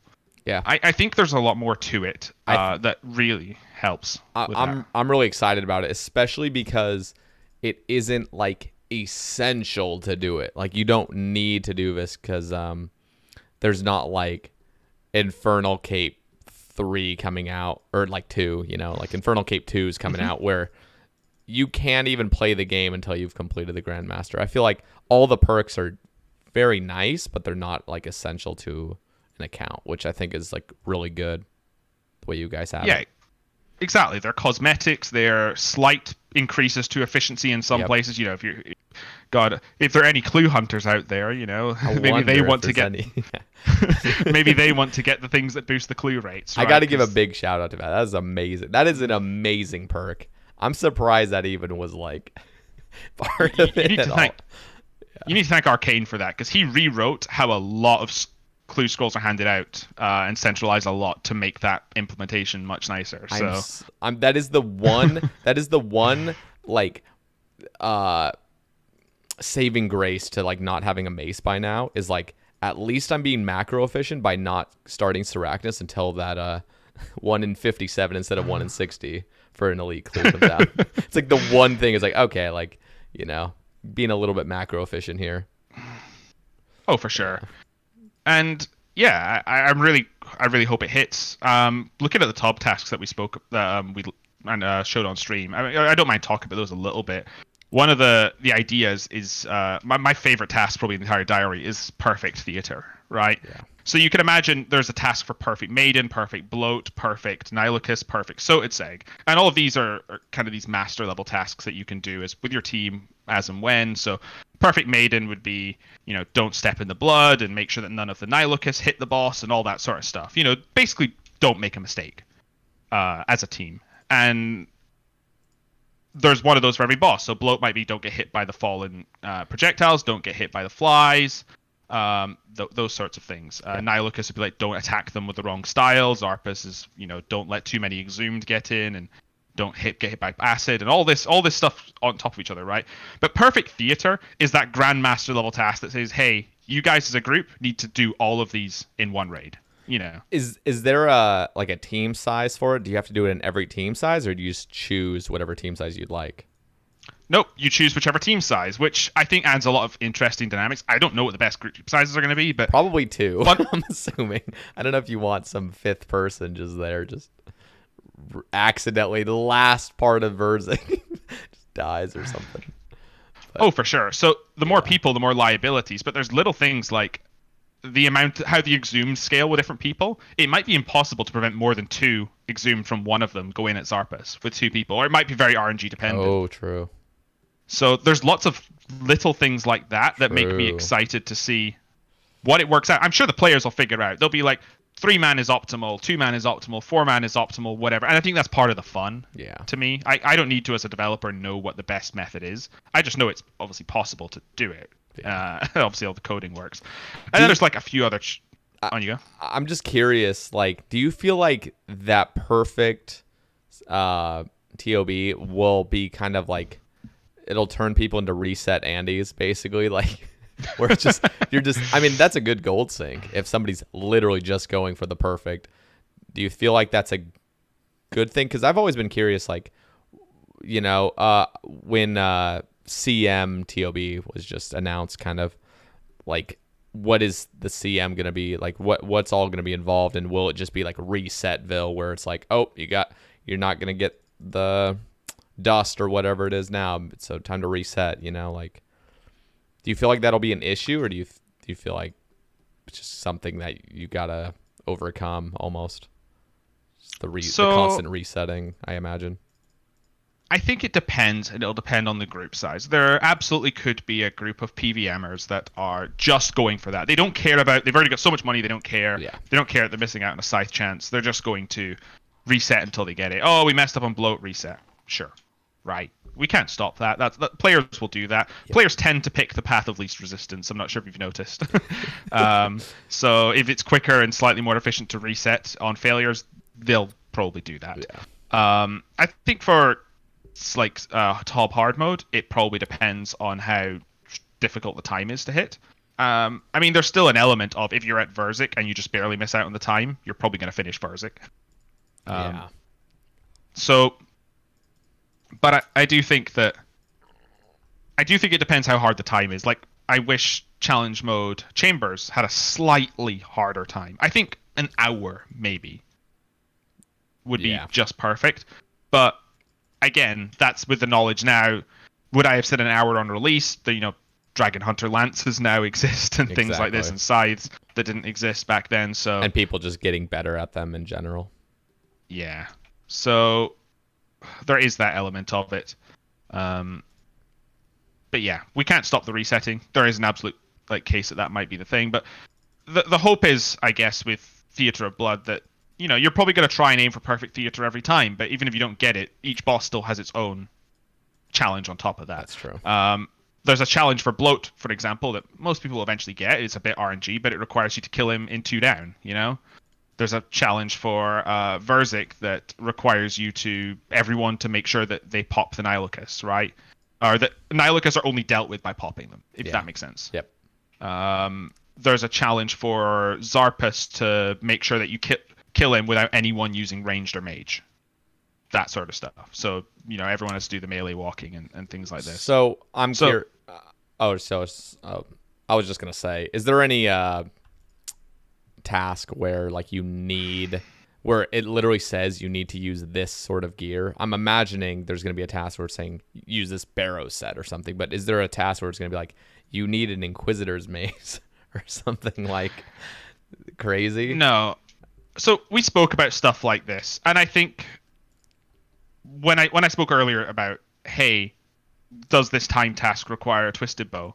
Maybe, but it's probably easier with a twisted bow, but it's also kind of up in the air. Yeah. You know, someone might just be really, really, really, really good and do it with a blowpipe or some other item that comes out in the future that might not be quite as good as a twisted bow, but you know, com- like could do the job because it's better than a blowpipe or whatever. You know, that sort of thing, right? Yeah. Um, I don't think we'd ever want to say do it with this gear, especially if it's more expensive. We te- there is a task for Theatre of Blood that says do it with only Barrow's weapons, right? So that's still up in the air whether you actually need the Barrow's armor sets. Yeah. Uh, we just require that you use the weapons. And there is a Theatre of Blood task that says do it without using a scythe. So that specifically says do not use an item, but it does not say do use an item. So without using a scythe obviously makes it harder. Yeah. But I don't think we'd ever say do it with this this item specifically, especially if it was a rare item. I mean, I could imagine if we said um, this isn't a task. Uh, just saying, but you know, imagine we said like kill this boss with a rubber chicken. Would probably be a fair task to make because everyone can get a rubber chicken. Yeah. Yeah. Yeah. You know, so Okay. All right. Um, I am going to get flamed if I don't cover at least some. We had like sixty topic. That this is unheard of for uh, a thread. It's usually about like ten. So um, again, guys, this is not a Q and A. I I feel like most of a lot of the the replies to the thread were a lot of like Q and A, like put this into the game, put this into the game, or ideas. But we'll cover them and we'll see what you have to say, Husky, because it's a rare opportunity, of course. But I'll start from the top. Uh, Wizard just asks, any plans for a new secondary for Dwarfweed?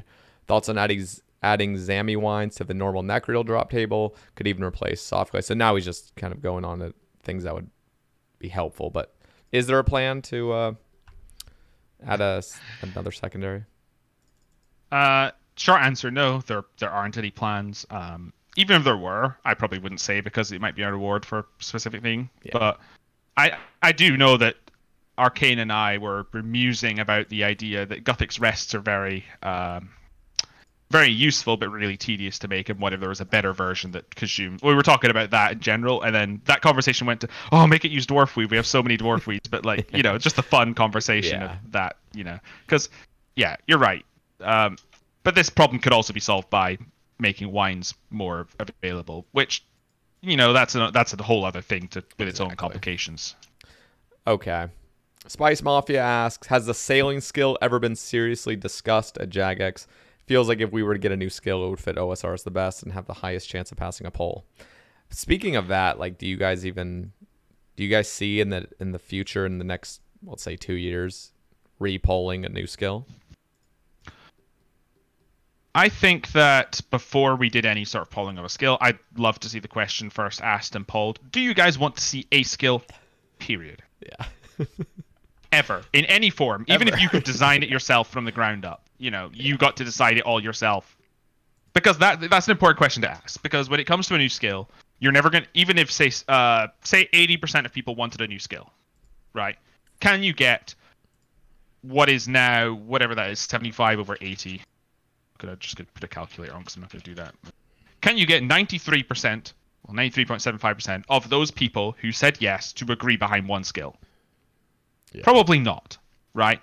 So you're probably looking at closer to you could only ever get a new skill in the game if around about 85 to 90% said yes to a skill period. Exactly. Right? Yeah. That makes that makes sense to me. Um, and you're always going to get people who say no. Uh, and that could be for a variety of reasons. There could be people who are genuinely maxed and say, I, know, I don't want to do another skill and, and remax. And that's the sort of like, um, you know, it's the same reasons about completionist capes and that sort of Yeah. stuff, you know. Yeah. Um, you could get people who just think the old school is what it is with the 23 skills, you know? Like that is the old school that I know and I love and I remember and I never want to see anything added.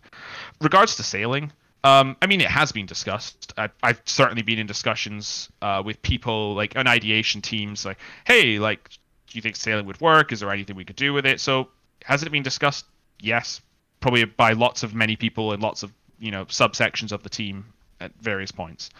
Um, I don't actually know the ins and outs of the sailing skill. If I'm being honest. Uh, back when that was announced, uh, as I kind of mentioned, I didn't really play until Iron Man came out, and I think that was pitched either around then or before then. And I never actually really caught up with it myself. Um, I and I was- definitely didn't. Yeah. I think it was pretty bare boned, like initially. Yeah, and the annoying part with the skill, I guess it's this is kind of true for any design, but skill being contentious, obviously this is a bigger factor, and it's never a bad thing because it just forces us to be good at our job. But the first pitch has to sell it, and Yep. you can't rely on revision two and three.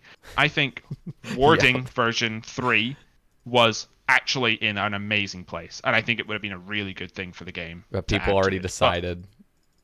Yep. People already went, I don't want these battle wards. I'm like, wait, we, we got rid of that version 2, Yeah. right? Let alone where version 3 ended up. it's very know what I mean? hard to just get everyone on the same page again and it like after the third revision like you just said Yeah, and all it takes is one content creator to make a video that you know that people watch and go, yeah, I'm not too sure of this, but we'll see where Jagex go with it, and then that person never ever catches up with us, right? And they just see the poll and go, oh yeah, I remember there was a content creator or something that said they weren't too fond. I'm just gonna vote no. Do you know what I mean? And I, I, I think I spoke to people about this all the time, and you only realize it when you read like all the Q and A questions. There is a surprisingly small amount of people that actually read our blogs, let alone vote in our polls.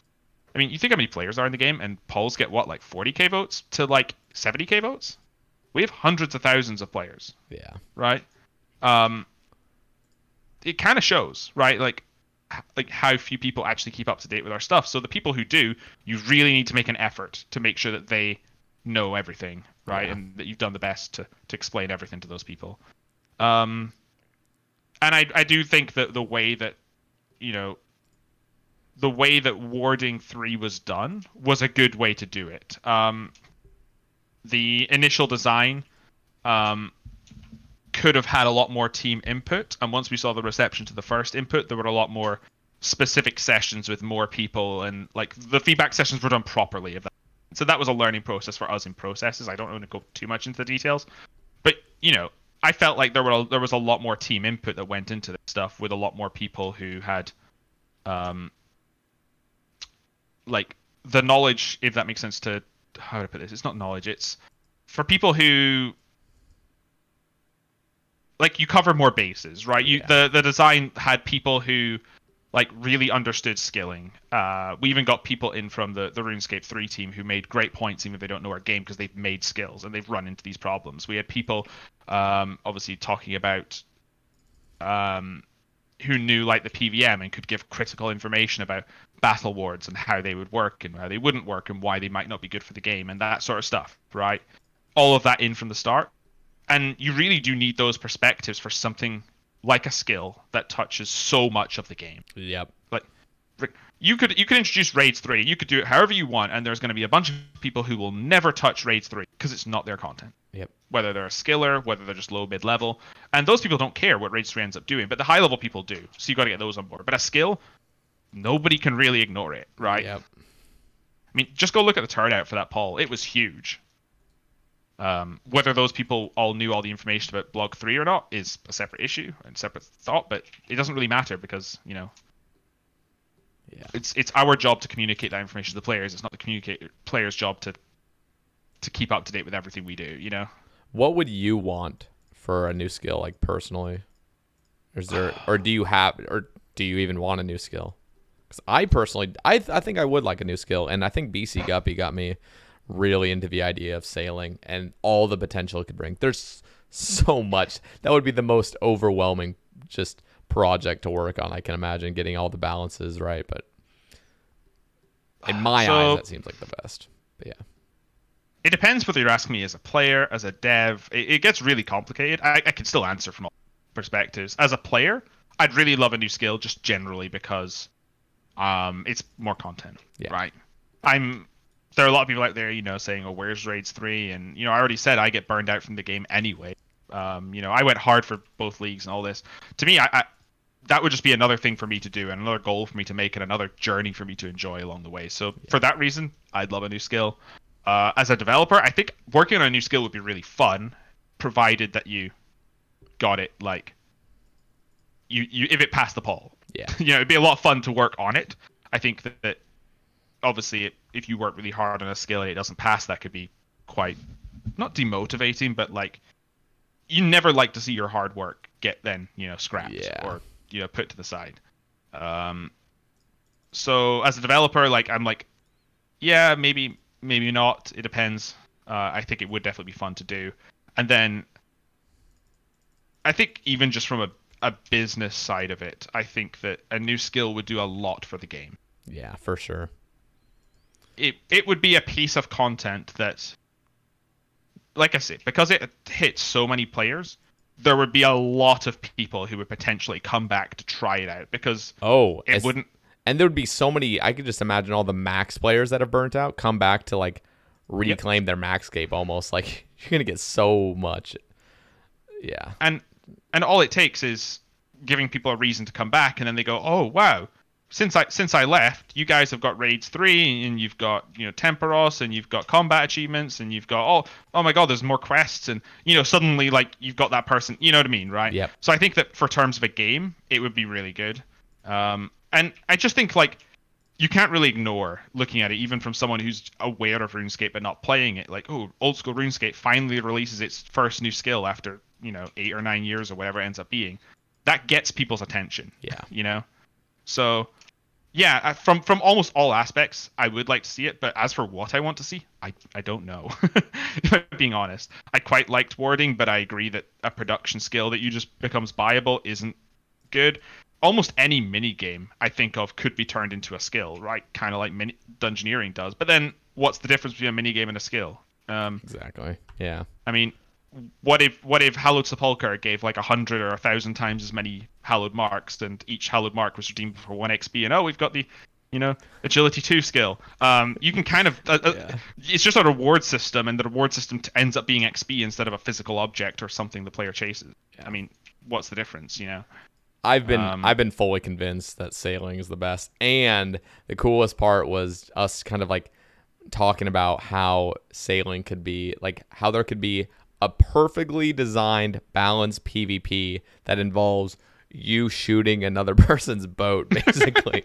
and I think it would be cool to just from scratch make an entire new PvP scene and you guys can balance it to the T. Like you don't have to deal with past metas or anything. It's just like you got your can you set up your four dwarf cannons on the side of your boat.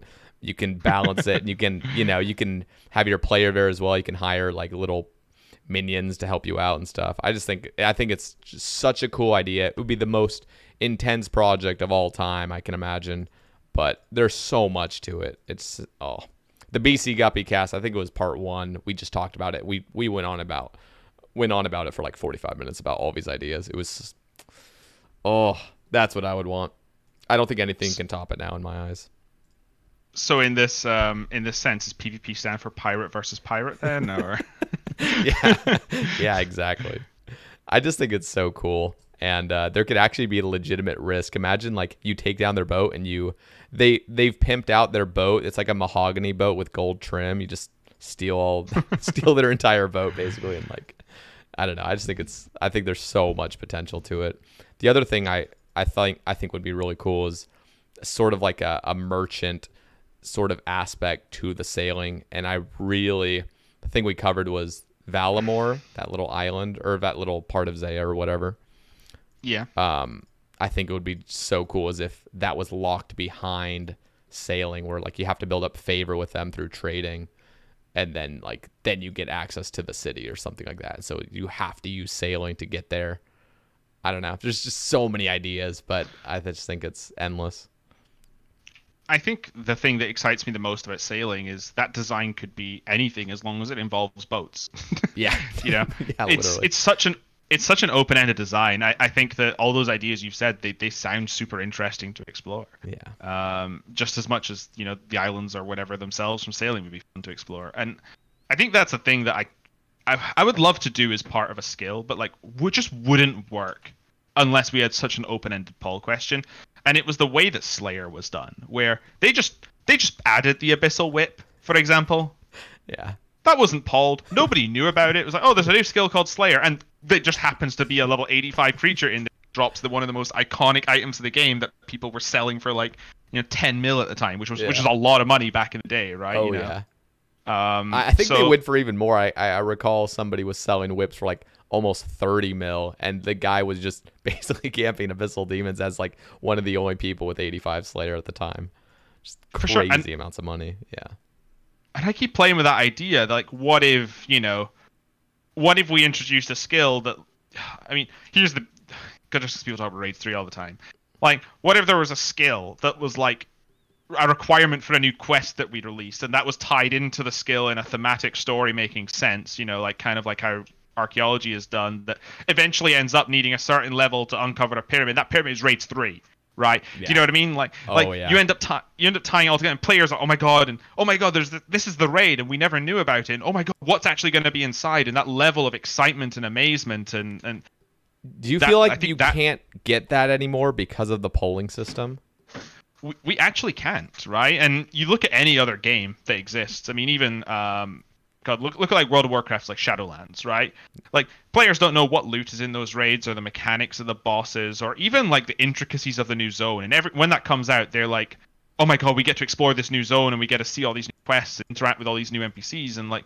Sure, we kind of have that. You know, we did that with like Soul Wars, and we could say, "Hey, you don't know what NPCs are on here," but it just doesn't have the same weight in our Yeah. game. You know, um, I think there is an element of me that's like like I love the polling system for involving the community in the decisions of what goes into the game. But what I would love to see the polling system move more to, and this is this again, I have to preface this is so my opinion. Everything on this thing has been my opinion, Yeah. but I know people are going to say this is Jagex's opinion. Oh my god, Husky's leaking, or oh I disagree with Husky, so Jagex are shit, and Yeah. all this stuff, right?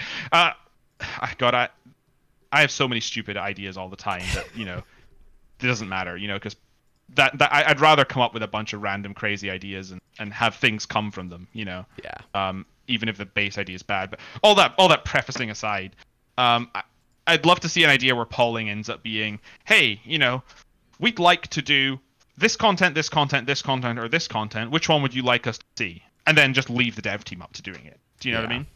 Uh, and the players are still going to have the excitement of, ooh, I wonder what the dev team are going to do with this, but we don't actually know what's going to be inside it. Um, it requires a huge level of trust, especially from people who've like Yep. super figured out the game. You know, like you could you could absolutely imagine a PVM reward that would be busted, and you you need to trust that the devs would understand how to make a weapon that isn't like busted and more Yeah. than the T-bow and stuff, and all this all these things. And I think the in a polling system like that, you have to phrase it like, "Hey, we are doing a PvP update." Here is the five PvP updates, and you pick your best one, right? And those polls always have the other problem. Well, something won by having 25% of the vote, and the other four things got 75%, but that could equally be seen as 75% of people don't like the update you're about to do.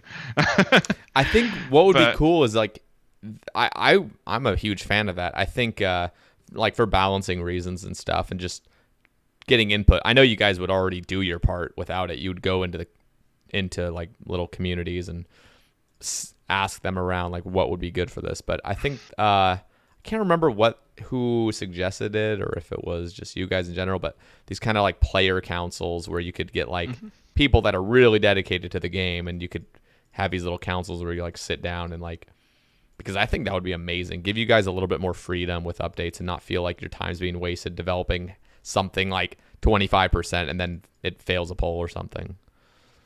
So Yeah, and I think I think that has to be understood by the players. That I mean, and we've got a lot better at this, I think, in recent times.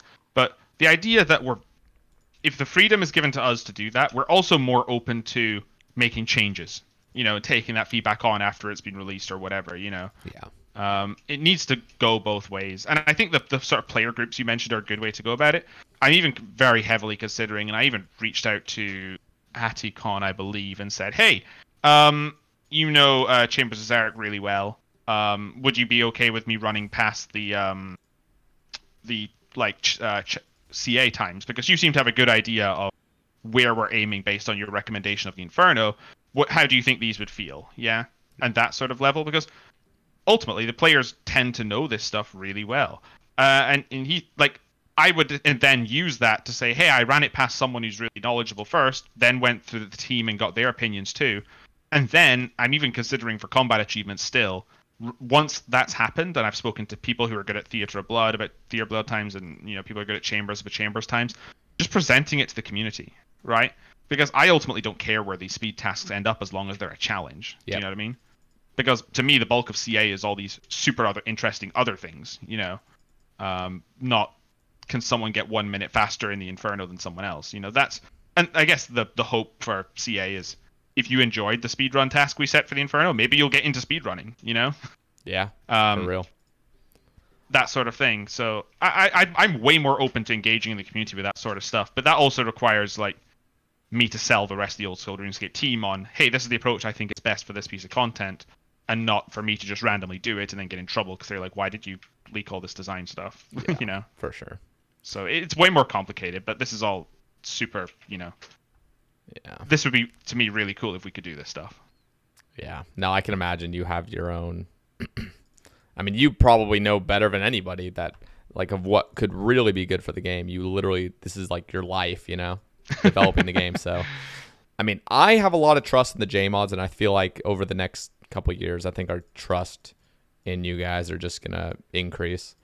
And I feel like hopefully it'll get to that point where you guys can have a little bit more freedom. I think you guys already do get a lot of freedom, and the polls are mainly just at this point, at least in my eyes, they just look like they're to get the community involved.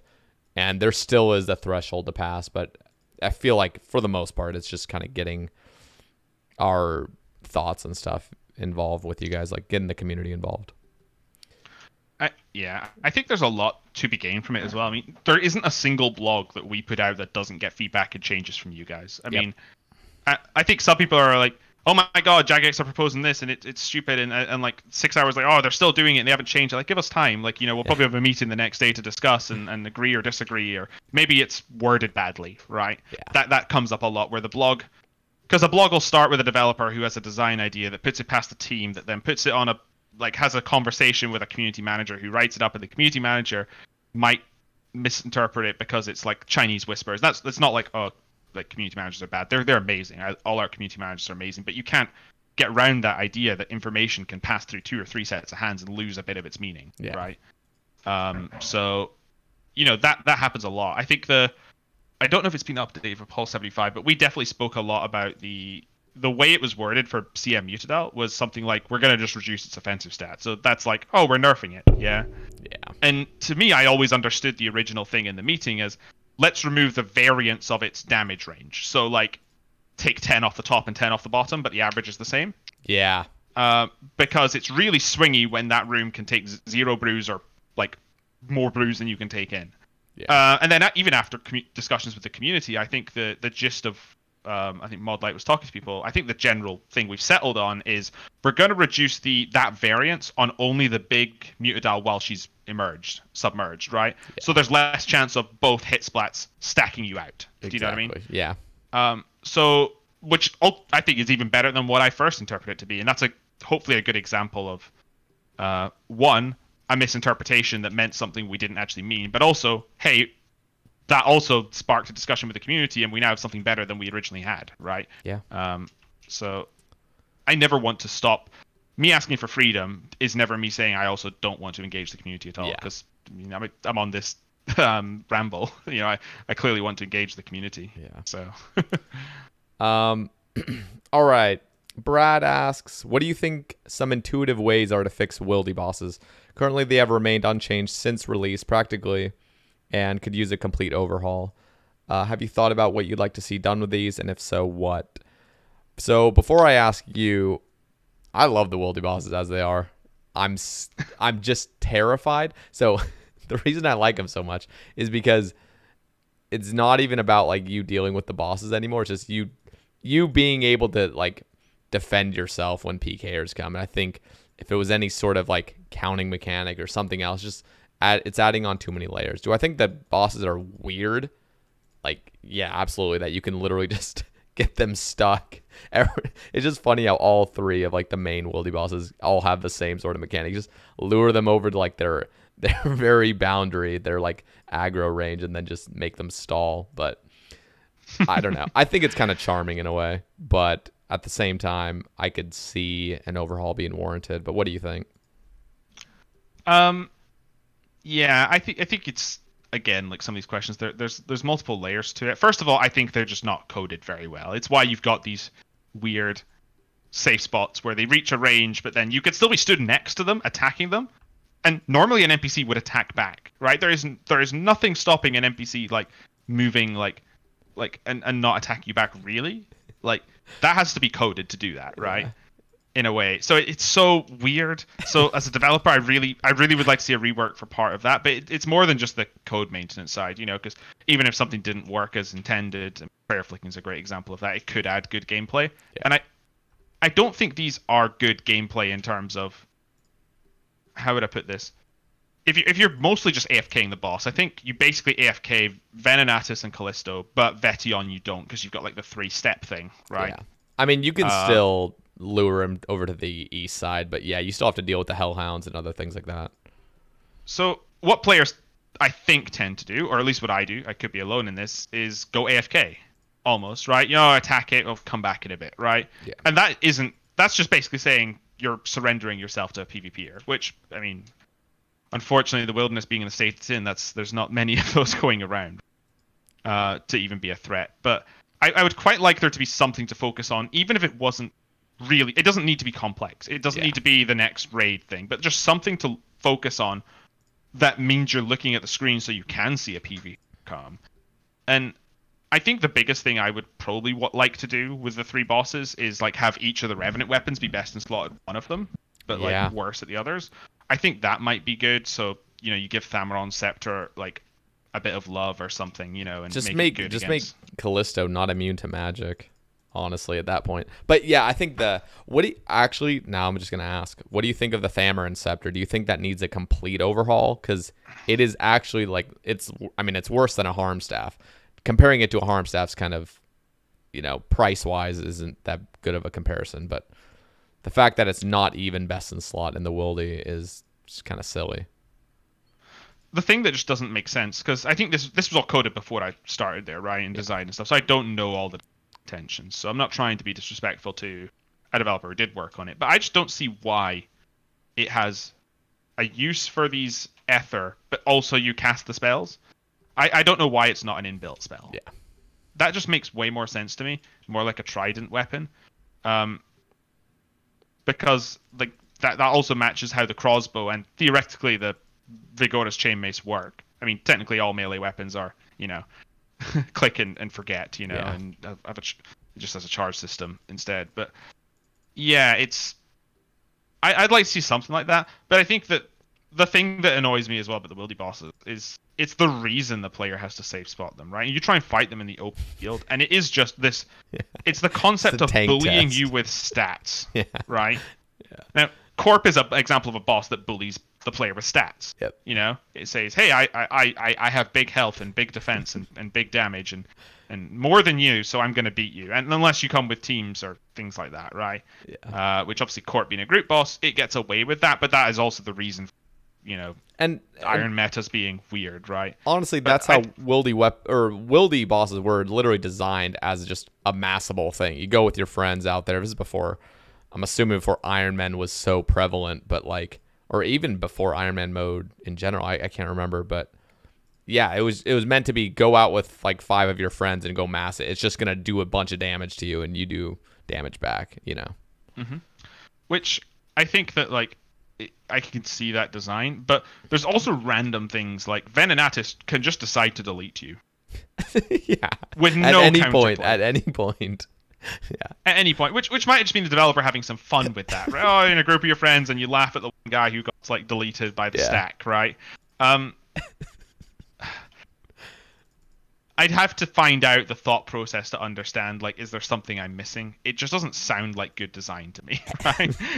yeah, it was definitely. Uh, I mean, just yeah. Uh, there was no such Uh, thing as hardcore Iron Man either back then, so nobody actually cared. It's like if you died, it's like, oh well. And I mean, I don't think it's a bad thing, for example, if there's a boss a hardcore can never solo. I think Yeah. that's absolutely fine. I think you just say hardcores can never solo because this has like a 50 percent chance to kill you, and that could just be fine. And hardcores never fight this boss. Yeah. Or they Um, do, and but- they just keep remaking until they can get the item. You know. Yeah. So, you know, Yeah. I don't think there's necessarily like we're just changing it because hardcore, but I, I think there is an element of. I talk about this a lot, right? Uh, in, in internally and stuff. There's a difference between catering to a game mode and considering, Yeah. right? Because I've been criticized of that by players. Oh, he only does things and changes things because he's an Iron Man. And he wants his life to be easier. Yeah, no. Uh, I think there's a big difference between saying, "Hey, like we're going to consider this group when in the design and maybe it's inconveniences and maybe it's bad for them and maybe that's okay at least you considered them do you know what i mean Yeah. and that happens i think the biggest group that happens with actually is ultimate iron man because there's so many more things that can break their game mode Oh, and their, yeah. their established metas um, and that's why there tend to be a lot more questions for them and I think that any and every player should be considered, whether that's a completionist, collectionist, Iron Man, uh, hardcore Iron Man, uh, Ultimate Iron Man, PKer, um, or PvP or, or whatever you want to call them, Yeah. Main, anything, right? Like they're, you'd be doing your job badly as a dev if you weren't saying, "Hey, how does my piece of content affect anyone that could be doing it?" Yep. to me, that just feels like that's part of the job. Um, but I- yeah, I, I would never want to cater to a game mode specifically. Um, but I think there's a big difference between hey, if we make this small change, it makes it better for this minority of players and has negligible effect on everyone else. You know, Yeah. Yeah, it's tough. Uh, I can just I can't even imagine because when I when I think of updates, I think of Iron Man. I think of a maxed Iron Man. How is this going to affect the meta? But you just don't consider every single thing that it could affect. And uh, and if I'm being honest, I can't consider everything fully from every perspective, right? I can't consider everything from yep, Ultimate Iron Man, and I can't consider everything from a main. But that's why we're a team. yeah, right? You know that there are people on the team who who can and and do, and You know, there are people, there'll be other people on the team who don't really think of things as an Iron Man, but you know, we speak about this like, hey, maybe if you could just like run a drop table past me, and I'll tell you like if it's a bit ridiculous. You know. Yeah. Like if there's any like stupid like. don't want any like glory amulets from the archaeologist island, you know, like yeah. that sort of thing, right? Yeah. I mean, to be fair, sometimes you got to disrupt the like established meta, but yeah, maybe that was a bit just too easy. But if there was like requirements to get to that boss, at that point it's like metas are going to be changed. I don't know. Well, I mean, being honest, if it aside from the ignore the boostable side, right? If Theater of Blood had an Amulet of Glory on the drop table, I don't think anyone would bat an eyelid, right? yeah, yeah. But like, yeah. yeah. No, for sure. Okay. Um. Okay, let's see. So, I just missed it. I guess I'll I'll I'll read this one. This is kind of an interesting little topic. Again, these almost feel like Q and A questions, but we'll give it a, a read. There's currently only one use for the beehives in Seers Village. Could we see some sort of beekeeping hunter method involving bees? Building the hive like in the random event, except it gives crafting hunter experience and would take time to harvest like a like a like a birdhouse. Cool. So I'm gonna I'm gonna steal this question, okay. right? And I'm gonna use it to talk about a bigger topic because I think, like, in short, to the player who asked this, um, sure, we could. Uh, the biggest place would be why. Yeah. So that I think that you get a lot of Q and A suggestions. You know, oh, this, yeah, okay, this could be good, but but why why why are you doing it? Right? Is it a new? Is it this this this meta is stale and we want to do something to shake it up? Is it a money maker? Is it because and quite often as comes to places I know this probably isn't for this beekeeper one, but you see like, can we get this thing added to this specific thing? And you're like, oh that seems harmless, yeah, let's do it. But oh, that's because it's a region locked ultimate like Iron Man who doesn't have a way to get his thing uh, thing, yeah. right? Or has a pretty bad trading method in their restrictions, right? Which, you know, I think that when it comes to working out, and I don't work, I'm not part of the production team, and they're the people who decide what updates we do and when and how much art we're going to allocate to this and how much you know time this project gets and all this stuff. I'm not part of that, right? I, I basically get someone to tell, hey, um, you know, we'd like you to do this project, and I get a little bit of saying I'd rather work on this project over that project and, and things like that, you know. Uh, although not all of those needs can be met, but the biggest thing I'm trying to get at with these sort of things is why should we do this update over something else? Yeah. Do you know what I mean? So it could be that like th- this beekeeper thing could be a cool idea, but there's so many you know, other things. There's so many things that could be better, and it, it's one of those things that I think I want to generally make our like we tend to even if we're not on the team that does polls, and I'm I'm not currently, that that that team is what really really good at like involving the other teams to give feedback on poll stuff. And one of the things I keep bringing up in these poll questions because I've seen us do it in the past, and I don't want to do it is if your answer is sure, why not? My answer, my my challenge would be, well, give me a reason to do it. Yeah. Do you know what I mean? And I think that it's the difference between picking a great question over like an okay to good question, right? Um, in terms of the implementation. Um, and I hate to think of the bottom line and this sort of things, but why should Jagex pay someone to go do something that's that's very niche and, and random? And I mean, I, I, I am trying to remember what the original thing was for the B cut.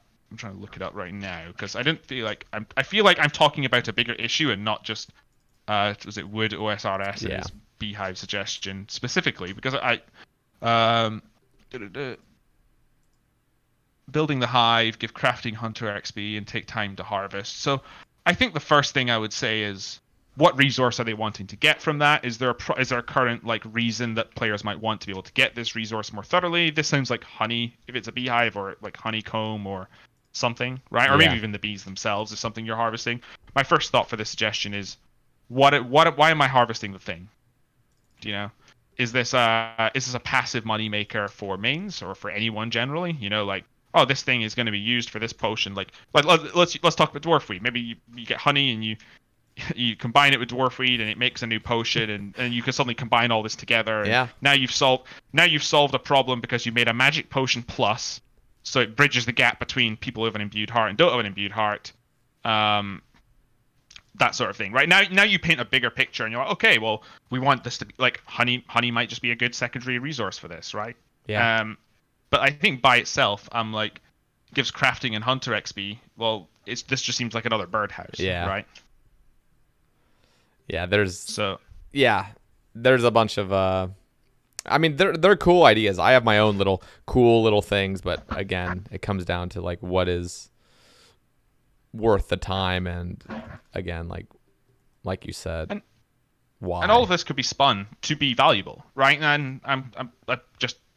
I, I, I- feel bad because I've just literally said, hey, here's a reason not to. But like, even if I play the, the other coin and try and make a reason to do it, you go, okay, let's have some interactive uh, beehive construction mini game and turn it into like this this huge player activity, right? Um, where you know you're you're building beehives, you're maybe competing against another team, or or it could be, you, it could be all sorts, right? You know, um, you could make it more like a tithe farm kind of thing for XP or or something, you know. yeah, Um, and at that point, you're like, okay, I've got. An, you, you turn. You could spin this into. I've got a cool idea for a new way to train a skill that players are going to find fun, right? And maybe you flesh it out a bit more so it's bigger, and that could actually turn into like a valuable update. And you'd be like, okay, that, that seems like a pretty good uh, mid-level update. You, you any anything like this, you need to kind of say, let's find a target group of players that this is going to impact, and these people are going to get excited, and these people are going to long story short for the bottom line they're going to keep paying their subscription because they want to do this content Yeah. or do this content right you know okay. i hope that kind of makes sense Yeah, no, I know it makes perfect sense. That there's probably so many ideas you guys get, and it's just like you gotta, you can't have them all, and you gotta all also understand like why have certain ideas. So, Mhm. yep. Okay, Ghost. We're gonna move on from a little topic, but he says he asks, "What was your favorite moment as a player? Drop, achievement, etc." So you as an Iron Man. Uh, it has to be my, my twisted bow that i got and for anyone who's salty i got a i got a twisted bow on uh 21 kill count I got mine on mine- twenty, dude.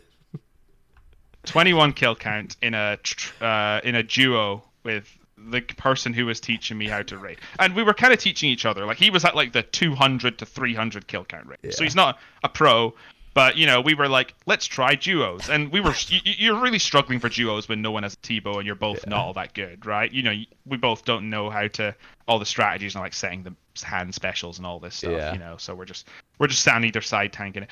And I think we was quite funny because I had like 49% of the points and he had uh, 51. So it was quite funny that like, you know, I had the 2% less chance to get it or whatever. Yeah. Uh, but that that was probably the biggest, most exciting moment um, because back when raids, th- uh, again, I preface I was a pretty much a noob back then. I heard about this Chambers of Xeric that was coming out, all the rewards. And I, they showed them off in a Q&A, and I was like, that bow looks really cool. And I had no context for the power level of this bow. I was like, I really want that bow because it just looks cool, Yeah. right?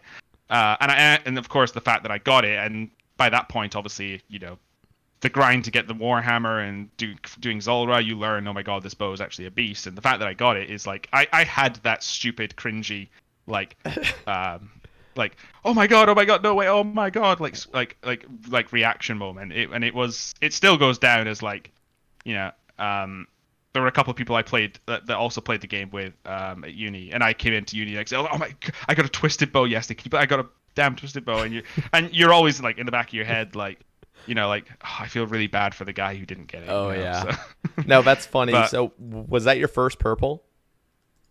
yeah, that was yeah. Um, you you literally are. It's like almost the exact situation as me. 20 KC T-bow. We were in just a little trio, and we were all just kind of teaching each other. I had no idea what were happening, and yeah, just the most cringe reaction to it. I'm I'm just and I know exactly how you felt probably. And I'm gonna maybe make you hate me and other people hate me as well. But I, I, I got a second twisted bow at 52, and that was my second purple. So and that was with that was in a trio this time with also the same guy who was in the duo who I got it from last time, and I felt so bad for these guys because the, the the third person who wasn't in the first time I got it, he was at like you know eight nine hundred kill count, and he was a, like he was a main um the, the my duo partner was an iron. Yeah. Uh, no, actually, no, actually, they were all irons. I'm completely lying. Uh, so yeah, uh, it, all three of us were irons. I felt, I actually felt really bad right? I was like, I don't want this. I would rather a Dex, right? I don't I don't need a second twisted bow on this account. So I ended up uh, dropping it uh, over to my main at the time and like splitting it. Yeah. I Well, was nice I was like, look, I was like, look, I feel so bad. Here, have the 300 and something mil. Yeah. Like whether it's just bond money or or something. I just felt so bad because it that was the complete opposite reaction. That was oh no no no way. Yeah, it's just you, you can't even be happy for it because you just feel so bad. You're just like, oh god. yeah. Yeah. Well, you're kind of like Defy J. He pulled two Ely's at 140 KC. Oh, I saw that. That's Yeah. ridiculous. That is disgusting. I've never seen anybody spoon corp that hard. Well, I'm I'm appro- I'm over 500 KC now, no sigils. So we'll see. Maybe I'm gonna get the negative luck at Corp. It's Mm, yeah. exciting doing corp. Like, I mean, I'm like almost 900 dry since my last sigil, but like, I guess anything re- anything that's not Nightmare is actually pretty exciting. I think Nightmare was a good update simply because it's made every other piece of content just so quick and uh, uh, like literally corp is like quicker than Nightmare. And it's just like you're. I can get like eight minute kills sometimes. And it's like Nightmare's sitting there for 20 minutes, including the trip, you know? So, yeah. Yeah, for sure. I don't I, I don't like that design principle for the record and say, oh, we're gonna make content so boring that when they get fed up and do something else, they're gonna be they're gonna have fun again, right? No, it's Um, it's it's honestly it's honestly the fact that I've gone dry, and you could go dry anywhere and hate the content. But if I had done Nightmare and gotten a, a mace on rate or something, I probably wouldn't have as you know painful thoughts on the content. But Mm-hmm. just going dry at anything just is gonna make it seem more painful. Oh, for sure. I hate demonic gorillas because I got my Zenyte at like 1560. Yeah, uh, for the first one. I didn't Oh, complete it till like that's 2600. yeah, And remember, back then I was a noob because I was getting it for Zulrah because I think Zulrah is the, the the the true teacher of the game, right? It's the first thing that teaches you Yep. that you know you got to switch your gear and you've only got certain time to do it and you've got to change your prayers as well and your movement. There's so many extra layers of like what to do. And looking back, I'm like, God, I actually found that difficult. oh, like, it was so hard at first. Zulrah was so hard. But yeah, so you know, back then I was you can imagine like I was getting like eight kill like demonic gorilla trips, and I was like thinking that was great. And you hear stories of people getting like thirty plus, and you're like, how is that possible? And you know, like obviously I'm way better at the game now, but you know those some of those guff, some of those trips were like me doing demonic gorillas with guffins, right? Yeah. So it wasn't Jeez, even like painful. fifteen hundred normal. It was so slow. It was so bad, and I was so just relieved to get that that uh, Zenyte because I, I'd actually gone to Zulrah. Like I said, screw it, I'm just going to use the recoil rings. Uh, and by the time I got my Zenyte, I'd already got my crafting level high enough in Anguish, so I just made one of those instead. So what's the driest that you've gone in the game? Was it probably Zenytes, just rate wise? Rate wise, no, and people are going to not believe this.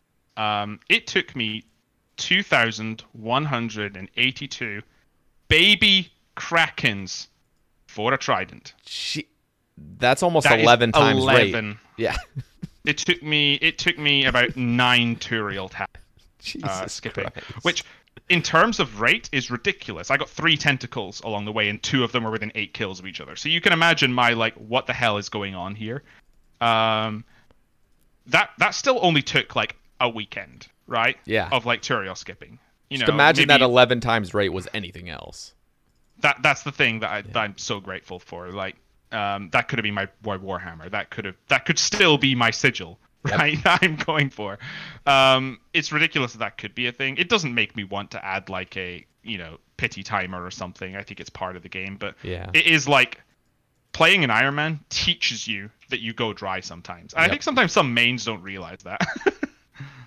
um, Nah, you know, I, unless yeah. No, I, I, I have a similar thing. I, I almost went nine times the rate of an unsired. Not saying my first unsired, but I went almost nine hundred for like just an additional unsired, and that I felt like you probably felt the same thing. Like almost like your account's broken or something. Like there's there's actually something wrong with the game. Like it's not giving you the drop because I kept questioning after like seven hundred. Like okay, there's I must have talk to the little like sire dude at the middle, or I must have done something wrong. my my brain at the time, and this is so ridiculous now knowing how co- the code would have worked, but like like it was what it was not long after the bracelets of slaughter had come out, like maybe a, a couple months or so. And I would- my in my brain I was like, is, is this new bracelet the problem? You know, should I stop using the bracelet of slaughter? Like, would that actually help me? And yeah, it, it Yeah, turns out like I Yeah. Like delusional. You start becoming delusional with all these like there there has to be some ritual I can do to get the drop. Start dancing before every kill and stuff. Yeah. But yeah, luck irons out. We spoke about my twisted bows, but there was that zenyte, there was that trident. My, I finished my bludgeon at 1400 KC, which is it was like seven unsired, so I was like basically like half the rate of unsired. I, I still love the sire boss, but you know, uh, I, lot that goes against what a lot of people say. I think it's a really, I like the thematics. I like the fight has different I phases. love I love Sire too. um, it's a really complex and, and cool fight compared to like you know people love Cerb, but I hate Cerb because it's just so like the same thing every time, you know. Yeah. Um, and well, I guess Tyler is, but you know what I mean. Like Cerb is just not any layers of complexity. Cerb's like, tons really. of fun with a scythe.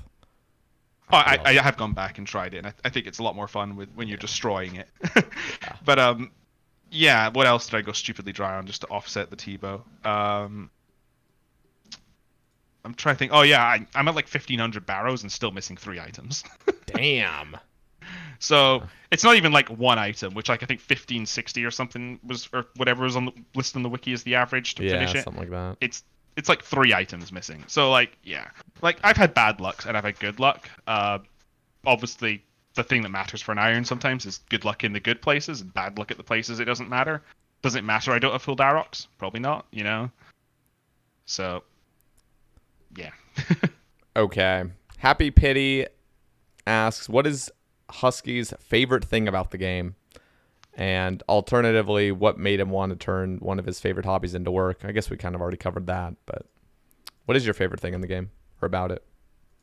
Um, I don't think I would have answered this question until I started working for it. Uh, but I really enjoy the the 0.6 uh, second tick system, and I think it.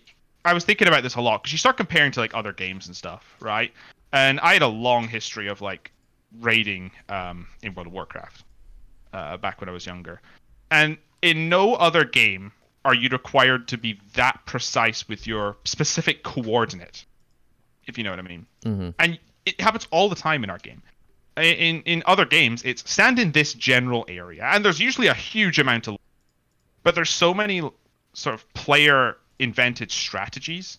I mean, solo Olm is basically that. You have to be on specific tiles and attack in specific windows, and there's so many little things that you play around with the 0.6 second like the, the tick system that just make the game so much more complex than so many other games because other games are about which like all the different calculations with gear like beyond the like we've got that but not to the same extent or like talent tree systems and all these other things but the way the player moves it just makes the game so much fun to me.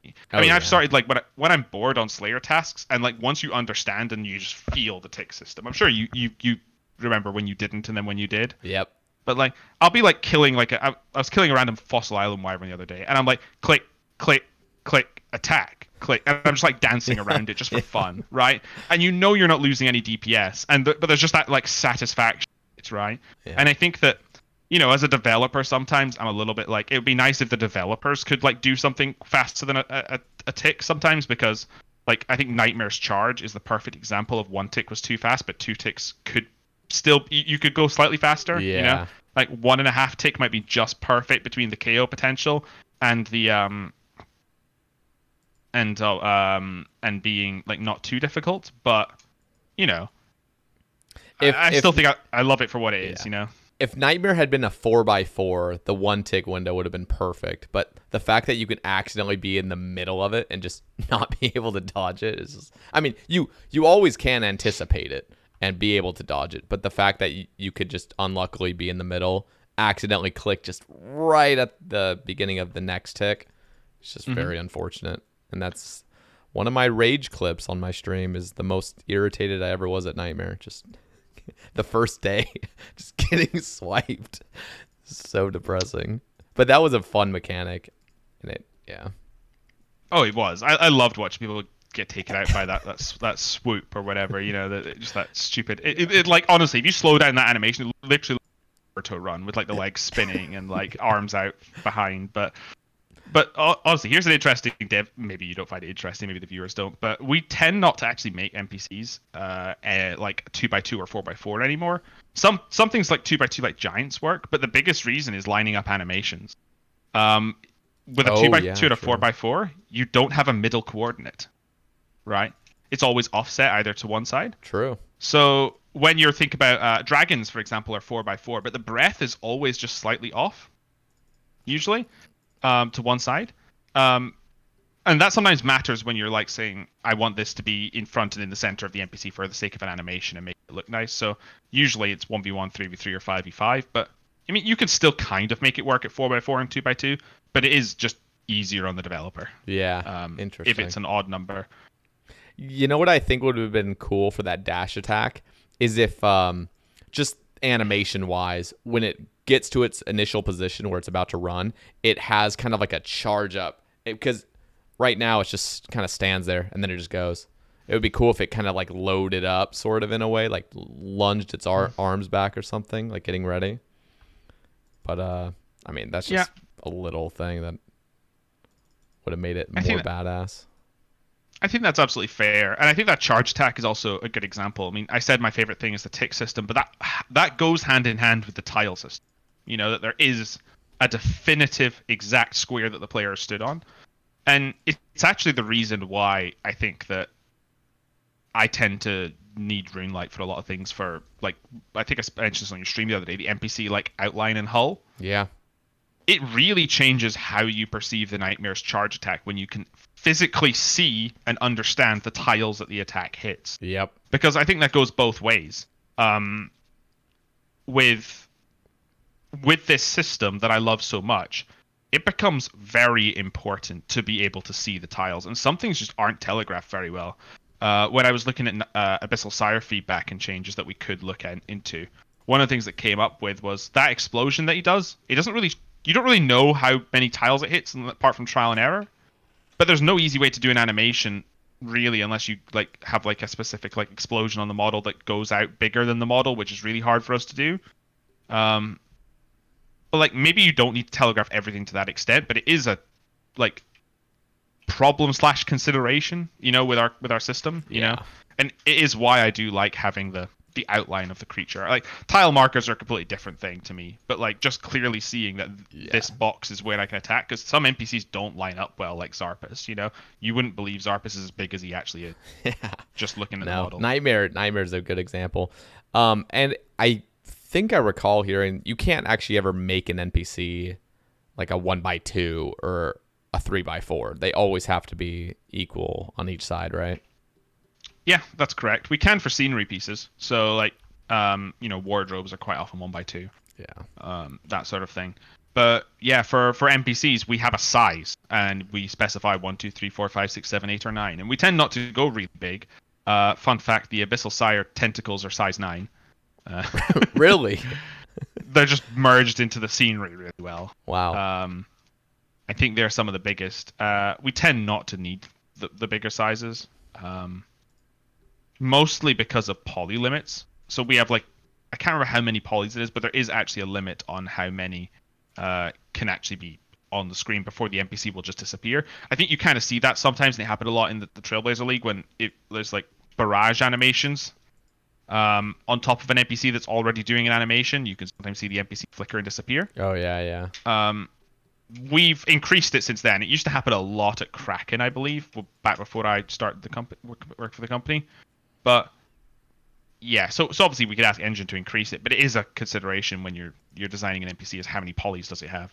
Yeah. And that includes all the invisible ones you can't see that are just used for an animation but are visible as part of their, you know, idle animations or walking animations. So, I want to quickly give my uh, just a little topic I little uh, I had because I, I, know I'll forget if I don't mention it now. But um, that's okay. I don't know if you saw. I mean, I'm assuming you did, but the elite clue rate. There's a there's something in here about it. I can't even find it right now, but how the elite clues were um, like the third age rate was just massively uh uh I guess in or I guess decreased. So it went from like 1 in 3000 to about 1 in almost 6000 now. It, are there any like I know you can't say maybe yet if it's going to happen, but do you think that there will be a change in third age rate for elite clues? I know some people are are stacking, and since I have you on the cast right now, I guess we could ask, but is there any uh, change for like the elite clue rate for third age that may be happening? Um, I know Madalena replied to it and she said that you guys would discuss it internally, but yeah, I I know it was discussed. Uh, the team generally seemed to look at it in the way that it was probably more like a bug, to be honest. That the rate changed when things were added. Now that makes it makes perfect sense why it happened. If You can imagine, you know, the the third age table. I don't know what the exact numbers, but if it used to be a one in ten and we had two items, the third age Yeah. table's a one in twelve. I I there are ways that could have been added that didn't need to do that. So maybe that could have been perceived as a bug, and the team seem to feel like that's a reasonable way to look at it. As for if it's going to be changed, when it's going to be changed, I don't honestly know. I know, as as you just said, Modelena was very uh, interested in in doing something about it and following it up. But you know, we're a team with lots of different people Yep. that look at different things. If if I'm if I'm honest, if I see that Modelena's you know interested in going to look into it, I'm probably not going to pay much attention to myself, right? yeah. Um, and, and that sort of thing. Um, so yeah, I, I'll, I'll maybe mention that people are stacking, and that's stacking's okay, but it's bad if you know that ends up amounting to nothing, especially Yeah. for a long period of time. uh, so I'll, I'll maybe just send her a message uh, at some point tomorrow and just say, hey, uh, because of your thing on Twitter, people are doing this, and if there are no plans, it might be you know a good idea to let people know that there are no plans, just as a courtesy thing.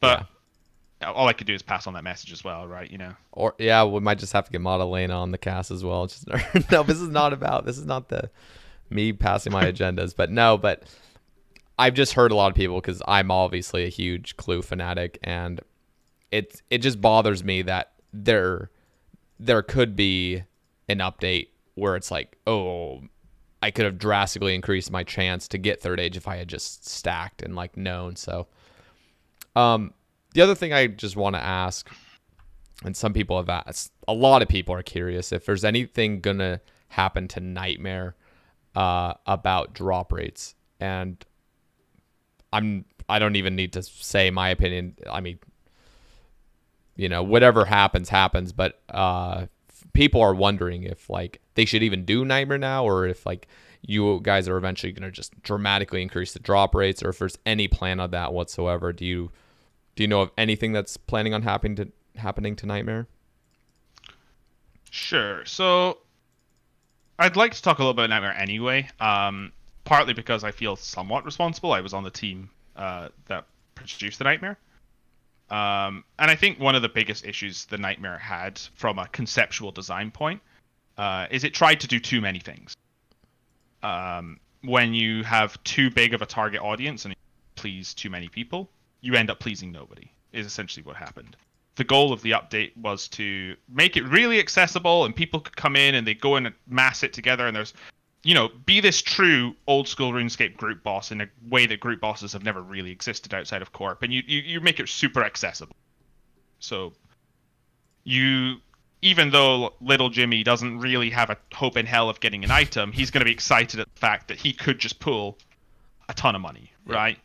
So that was that sounds really good from a conceptual level um, and you're thinking about okay well we want really expensive rewards but you know we also want it to have this extra layer of depth for good high level players. And it probably makes sense that there's you know if they're going to be expensive high level rewards you end up having you know high level players be part of the target audience. But the truth is it doesn't really satisfy the low players because the drop rates are so rare in order to be so expensive that they're just not happy because you know little jimmy still wants a hope you know he doesn't want an impossibility in, Yeah. you know but at the same time the high level players have this fight that it wouldn't matter if it took a long time as long as it was interesting yeah but they can't because the mechanics are so scripted and so like one dimensional that it's just not interesting to them right? So, so, so to me, you end up in this position where nobody won. In in my eyes, Nightmare was a, a thing that tried to please two people, but ended up pleasing none of them Yeah. in these like ideas of player groups.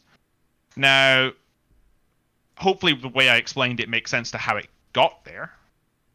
So you could understand the idea of you know this group boss, so group be more inclusive and get in. But if we designed it around just high level players, I think we would have tried to make the fight more interesting. Despite the long grind. Now, the grind is obviously like a huge thing. Yeah. It's maybe okay for mains in group sizes of five, but it's kind of slightly inappropriate for people grinding out solo. But maybe that's an okay thing because Yeah, and I You I agree. It probably actually is an okay thing. Um, I mean- that so the Siren's Tome was my biggest mistake ever, right? It was an idea I had that I didn't put a lot of time and effort into because I was working on, you know, Leagues 1 at the time. And I was like, yeah, well, we don't really have magic damage in the offhand. Let's do that. And it was just such a bad thing for so many reasons. Um, You know what? I'm just gonna counter it real quick and just say that um, I think it was like seen as hor- like horrible at the time, but in hindsight, honestly, if that was released in Nightmare, it would probably be more hours than an Arcane, and it would actually probably have like. It, it's just funny that we see it now. If the Siren Stone had actually been come out and it would have been like the same rate as an orb, let's say, that would mm-hmm. actually be more rare than almost an Ely. So like hours oh. wise. So it actually probably would have like fit perfectly with like hours. But I I understand the devaluation of the arcane was the main thing. Sure. And if I'm being honest, I think there's the different ways that we look at the content versus the players. And that's such a because I kind of tried to see it from both. I mean, obviously, I play does a lot, but Yeah. p- people kind of like to me, the first thing that has to be true about a design perspective is thematically making sense. So this is um this is uh, a hag that played plagued the sirens and they stole one of their magical tomes and it makes sense. But you know, could we change that into a shield? Maybe it just didn't make as much sense to me to come from that Yeah. content. Now, to players, they don't care, right? They're like, oh, make it attached to the arcane. And honestly, an attachment to the arcane is an interesting concept, right? Um, especially for iron players. It's kind of what I was going to about Nightmare drops being so long. There is the idea that an, an Iron Man putting in hundreds, if not thousands, of hours to get two really rare drops from two like really long grinds, and you would look up to that Iron Man and go, "That guy, goddamn, that's impressive." Do you know what I mean? Yep. And that could be absolutely fine for the Iron Man game mode because that's not enforced on mains, and, you know, that. But there was a whole. What I mean by it being a mistake was one, 10% was ridiculous, right? And it was very quickly changed to 4%. Uh, just blame me being a new dev that was being stupid at the time. And there's elements as well of the team just didn't like. The, the team could have given me more feedback on that as well, if you know what I mean. Yeah. But all this aside and, and that sort of stuff, the thing I hate about it the most was was how the entire conversation happened. Because I was focused on raids one at the time. Uh, not raids one, leagues one at the time, and I was kind of like, okay, well, this was my idea, so I should probably engage with it. And one of the difficult things you have to learn when you go from being a player to being a JMod is how to interact with people on social media. And this is this is completely optional because not all JMods need to interact with social media. It, it, we, we, I could never tweet ever, and Yeah. nobody would bat an eyelid, right? But I think it makes me better at the game, better like better at my job, should I say, right? By interacting with these people and finding out what they want. Now the biggest problem with that was I think you've probably seen it. There was a tweet I a conversation I had with Ari Slash that was me trying to play devil's advocate, but when you look at the tweet in isolation, it looks really bad. And it was basically, I think Ari Slash was upset about it. And to me, I was trying to read what he was saying, but I couldn't really understand it. So I thought it might be he got an arcane and he didn't want to see his arcane grind being devalued by a new better thing, right? Which is a, a completely valid standpoint. So I asked if that was how he felt, and he, he felt it was appropriate for an Iron Man to have to do this level of grind first.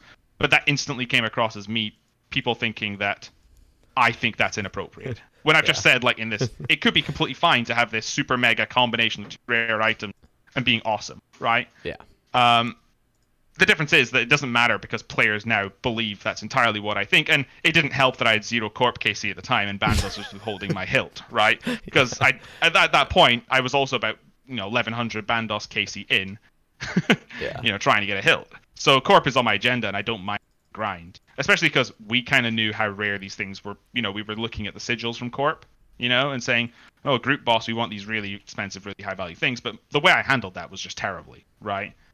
Um, I don't honestly remember the all these conversations. Uh, I mean, but I I can I kind of remember just the gist of people thought you just didn't want to grind in arcane. but yeah, I never saw it that way. I just that was what was being told to me. Just I didn't really follow the whole thread or anything. But at the end of the day, people. So some people would just jump on and like to meme. I know people were that was the they were quoting it back to me. Do you think of the one in one three one in one three six five is appropriate for an and blah blah? Yeah, I get it, right? People like to meme, but I handled that situation terribly, and yeah. But I think this all started with are there any plans for for Nightmare, and I think like I hope the, the design process behind it, and like the problem is it's just too boring. And I'm not sure if you followed it, but in the most recent live stream, uh, Kieran mentioned uh, Phosani's Nightmare. Yeah. Um, and the way so that is something both ToB uh, ToB modes, if you want to call it that, and Phosani's Nightmare came about through ideation. It was kind of like free ideation that we had, and there were members of the team that were like, you know, obviously we can't turn around a raid if we want like in ideation. Do you know what I mean? Yeah. you get two days a month. Like you know, we see you in 2030 by the time we make a raid at two days a month, uh, let alone every other month because you know one of them is themed. So we were like, what can we do in the short term to help address, you know, some of the lack of PVM content and look at some of the things players have wanted in the game. And I think Phosani's Nightmare is that hope to be a more suitable PVM challenge for the higher level players. And I don't know what that reward structure is going to be look like because I'm not going to be part of the team on that right now. But you know, I've I've seen the content, I've play tested the content, which is you know, players talk about we want you to work on raids three instead of this. Well, it's it's basically done, right? Because it was done in someone's free ideation. Do you know what Yep. I mean? So I'm excited to see. Hopefully, Phosani's nightmare, you know, alleviates some of the like how boring the grind is. Yeah. So what do you Uh, think about hours wise? Because uh to be honest, like me personally, I wouldn't mind if, you know, Phosani's nightmare like drastically or not maybe not drastically, but gave it like a twenty percent time save if it's gonna be more difficult or something like that. I don't know what you guys' plan are if you're going to make the rewards better or just anything, but I th- I don't want. I almost sound like anything I say at this point is just gonna be like, oh, well, you just want this because you're doing Nightmare at the time. But like, I really feel like at this point, drops shouldn't be like the time wise is what it is now, and it shouldn't really be affected. Um, yeah. So what do you? I guess is it gonna increase the drop chance or what? Or what do you expect? I think it's an interesting uh, it's an interesting discussion, and I don't know where it will ultimately lie. I think my personal opinion is that the drop rates could be increased slightly, um, assuming the content is difficult enough to warrant it. But I think there is a limit to how far that can go, because it's already been established to be a long grind, and I think it's also going to be dependent on how the community feel about that. You know, it could be an element of hey we'd release the content uh we, it fails a poll that say we poll it we poll it to have a marginal increase in drop rates or whatever and that fails it could be once the community play it they have a different opinion right Yeah. Uh, because that that's always a thing because they don't actually know from the description of blog but i think it kind of makes sense to me just because I don't think the time to get all the drops from Nightmare is too bad. It is it's long, but there are a lot of drops there, right? It's not Corp where you're getting three items that two of them have niche uses, right? Yeah, and they're It's- they're they are all niche. It's a long grind, but at this, like you said, I mean, we literally as Iron Man chose to limit ourselves. So Mhm. when there is a grind that's not necessary, not like any grind is actually fully necessary, but I agree, and it can be whatever, however many hours you guys would like it to be. But um, Yeah. to change it. it's not like you're getting nothing. Yeah, yeah exactly. you're not getting nothing, right? Because you know, first few hundred hours into that grind, you've probably got a couple of Inquisitor pieces. Maybe maybe you've even got lucky and got an orb, and it might not be you know even an Eldritch orb as use, and you're even seeing stuff. It's not like it's you know um, thousands of hours and then just to get one item. Do you know what I mean? Yeah. Um, I know the mace is the the big one people talk about because mostly because of its cost save over the scythe, specifically at Nightmare, but also like is other applications. Um, you know, the Inquisitor set is actually the best DPS against zero defense over any other, um, like mace, sild, or rapier. You know, as long as you can use the armor set, that makes sense. I'm actually Um, I'm I'm gonna just interrupt real quick. Do you think there uh, that you guys plan to make another buff to Inquisitors? I know one of the suggestions was to make it so instead of the 0.5 percent per piece, it's a one percent, and then the full set would be four instead of 2.5, and that would just simply give super high hitting weapons like an Elder Maul two max hits, and it would give uh, the ham joint some love, and it would give it one max hit. Um, do you guys plan on making any more changes to Inquisitors? Because it is just, I, in my opinion, and in a lot of people's opinions that have used Inquisitors, it just doesn't. It's just not good enough. It's like just so niche. The benefit of Inquisitor to me was always the increased accuracy and not the damage. But our damage calculations always tend to prefer, like our DPS calculations always prefer damage. Like one max hit is notable, Yeah. right? Um, in the DPS it does, whereas like, you know, you could increase accuracy by like going from, God, 75 to 76, 77, and you barely see any difference, Yeah. right? Um, it's just the way our game kind of works. Um, I don't think I'd want to increase the max hits any further because I think Scythe with Inquisitor is already really strong. That's true. Uh, the fact that it affects Scythe, I think, is a bit ridiculous in the first place. Um, to me, I actually think that Inquisitor could have been a way to have an alternative alongside Scythe instead of just buffing the Scythe. But, you know, to do that, you would probably need to take the Crush option off the Scythe, which I think is an interesting discussion as it is, right? yeah, that would Uh, be. it would have a lot of implications, and it would make Scythe a lot less useful in a lot more places than it is. And you could argue Scythe is worth it. You know, it's very, very expensive to use, Yeah, um, whether you're a main or an iron. So, yeah, it's it's an interesting topic. I, I don't think I'd want to generally increase the percentage for a few other reasons. Um, I think you've mentioned yourself and other people as well in the community. I'm generally not a fan of percentage modifiers, if I'm Yeah, being honest. not at all. and damage. Yep. They they scale too out of hand too quickly, um, and it's one of the reasons that I mean, with like the equipment rebalancing stuff, and you know, players were saying to us in the last proposal, just make crystal armor set do like a lot more damage to the do bow. and not you do re- that, please. For you the rea- love of God. Yeah, like almost the better implementation for all of them for arclight for dragon hunter lance for everything is to have hey this thing gets plus 20 strength against dragon so it's a flat Yes. always five max hits against dragons and then what that means is like for those dragon hunter things we can turn around and be like okay this is the tier 75 dragon hunter weapon yes. there's it makes it we can then introduce a tier 80 dragon hunter weapon that's even better that doesn't you know that is another flat amount better and you end up with this sort of much better system I would to be on I would kill Yeah. for something like that to like in the equi- I know you guys are still in the process of equipment rebalancing, but that would be so good. And um because like with new armor, like let's just say Raids 3 armor comes out with something that's twice as good as Bandos, so it has like plus uh 12 instead of the current plus 6. Like that is just going to make the Dragon Hunter lance so much like just increase the gap over a rapier by like so much more and especially the Arclight. The Arclight is just gonna be disgusting, and every single thing is a dragon and a demon almost.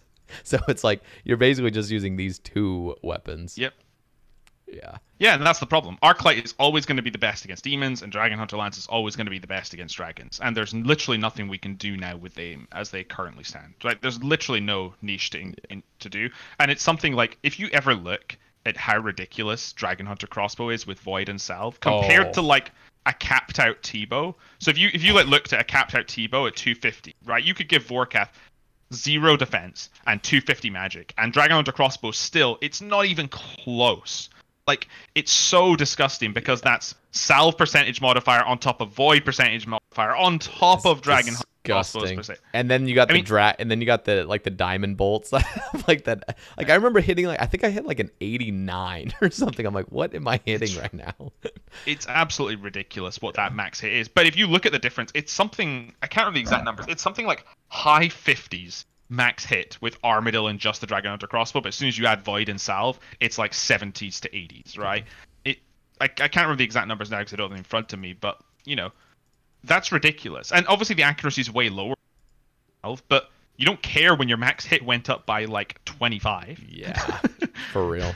Now I I am.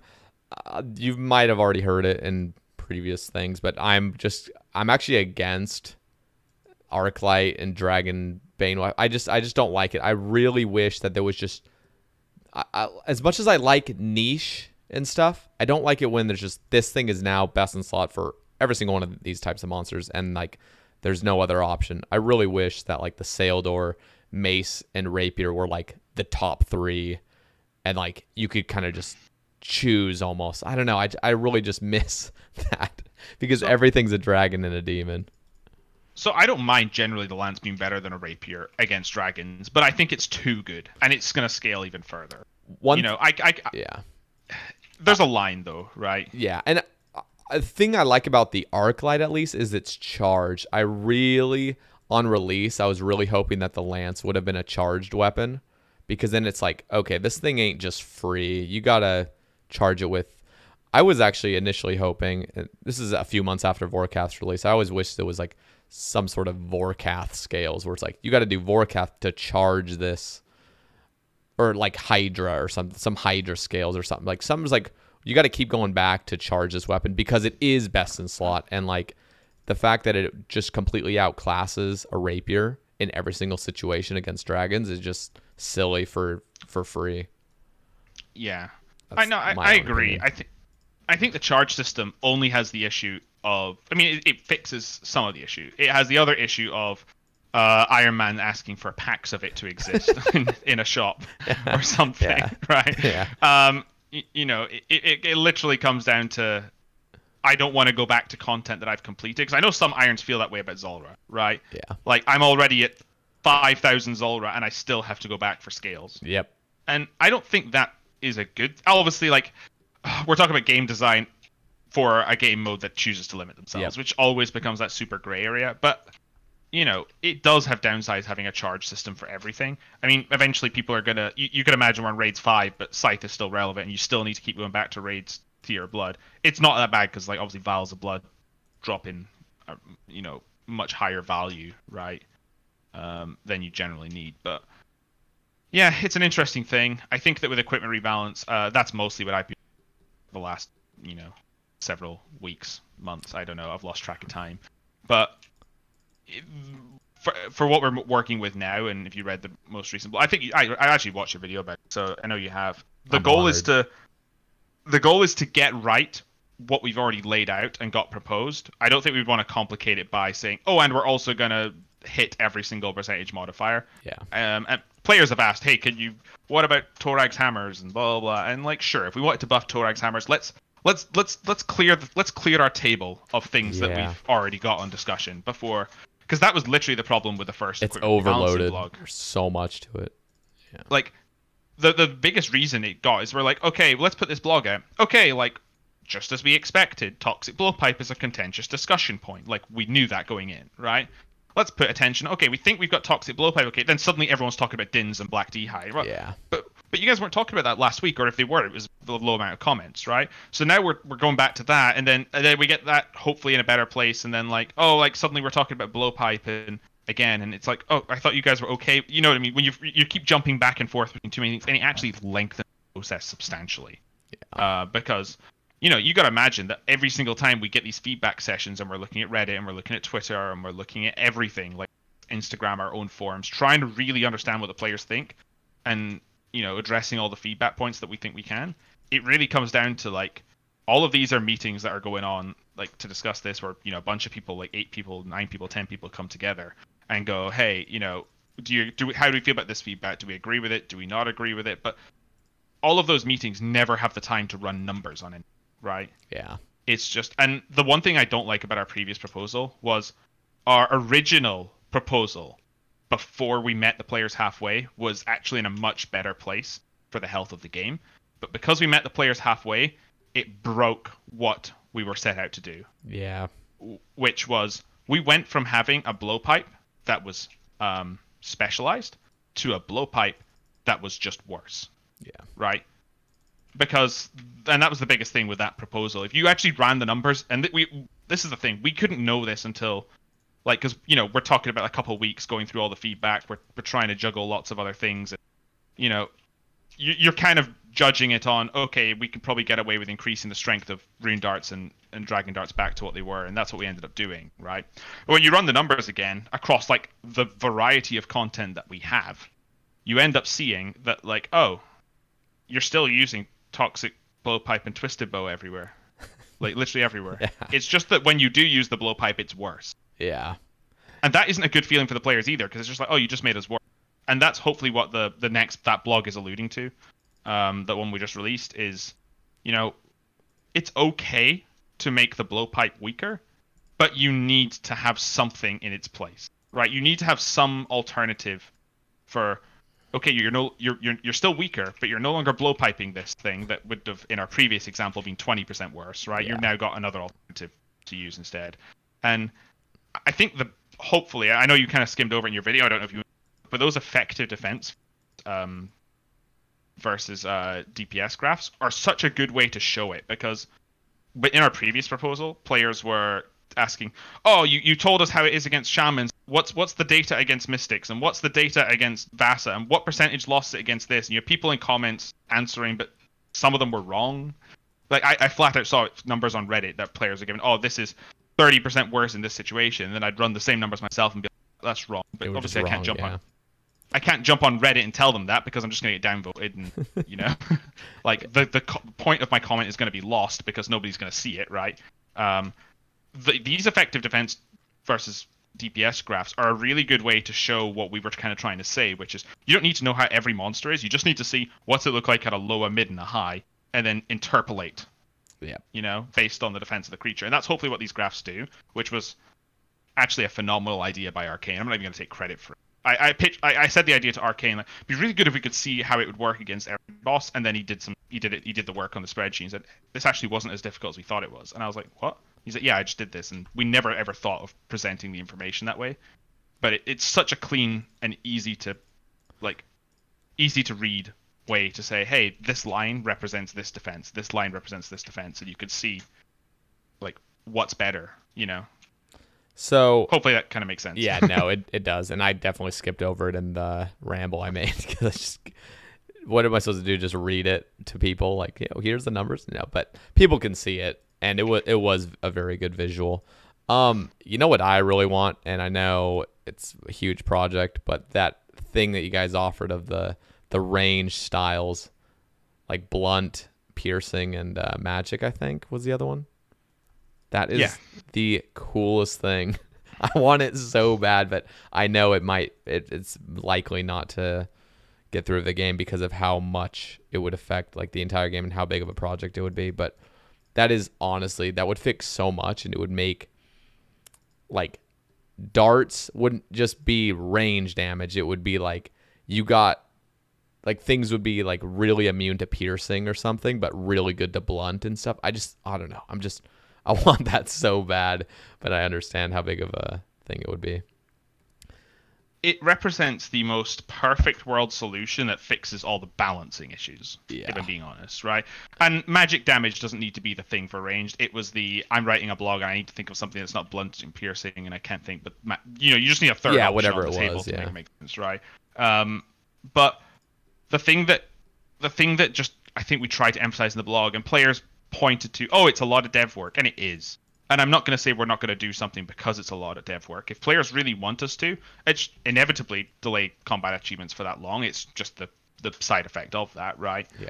Um, it means that one, we're putting time and resources in something that isn't something else the players might want Yeah. right? And it also might not be the most universally like agreed thing. Players like old school RuneScape Yep. because of its simplistic nature and combat system.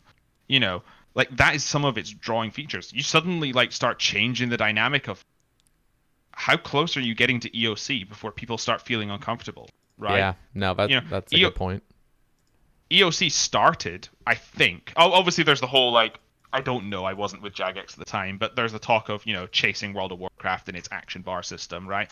But part of it must have also stemmed from the inherent limits that our systems have, right? Uh, Constitution is a thing in RuneScape 3 because, well, people are hitting close to 80 with special attack weapons. We can't actually introduce a special attack weapon that hits close to 90, right?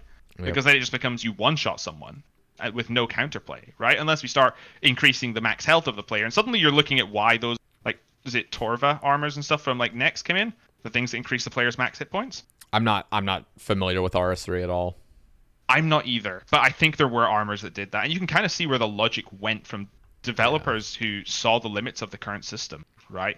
Um, I'd be really scared to go down that route because I think what we've got works, and I think we've got a lot of ways that you know to to make it work. But I just think that different style thing just just really will it'll change how the game feels. And No, you're definitely right. And it's not just adding three different attack styles. It's going into every single monster and changing what it's weak to and what it's it would be a huge project. And again, yeah, no, I would have probably issues with it. Like, why is this not this way or something? You know, in a perfect world, it could work, but And the logical next step, if you do that, is let's have elemental weaknesses to magic. And I already know people are going to love that idea. I think RuneScape 3 did that, and they had the problem that magic was so strong generally because there was like four different potential weaknesses a creature could have or something like that, you know? yeah, Um, and all it took was picking a different spell. Uh, I don't know if that's true. I, I, I read that I read that or heard that somewhere, and I don't know RuneScape 3 all that well. yeah, I've but- I've heard that that like magic is OP there and range is OP in our game. so yeah like it, it's just interesting to think that where's the line right because you could almost keep moving that line a little bit by little bit year by year and i think it's also it's a really extreme solution to fix what is fundamentally a problem with one weapon right Yeah. It I guess So- I guess the thing is, is like it would just bring more uh I don't know. It's just it's sad that like a ballista can never be like that good anywhere just because of how slow it is, but if it was extremely just this piercing weapon or I don't know if it would even be considered piercing or blunt, but just something where it's like okay, this actually has like a use somewhere instead of just everything being range, but yeah, blowpipe definitely just made everything in chaos and it created what we now have as the dragon hunter crossbow. That would have never been a thing if it wasn't for the blowpipe and then T-bow would never have been as powerful if it wasn't for the blowpipe I mean, yeah, and I mean, like power creep is an absolute thing, right? Like it, people talk about it. Why are why are the JMods scared of power creep?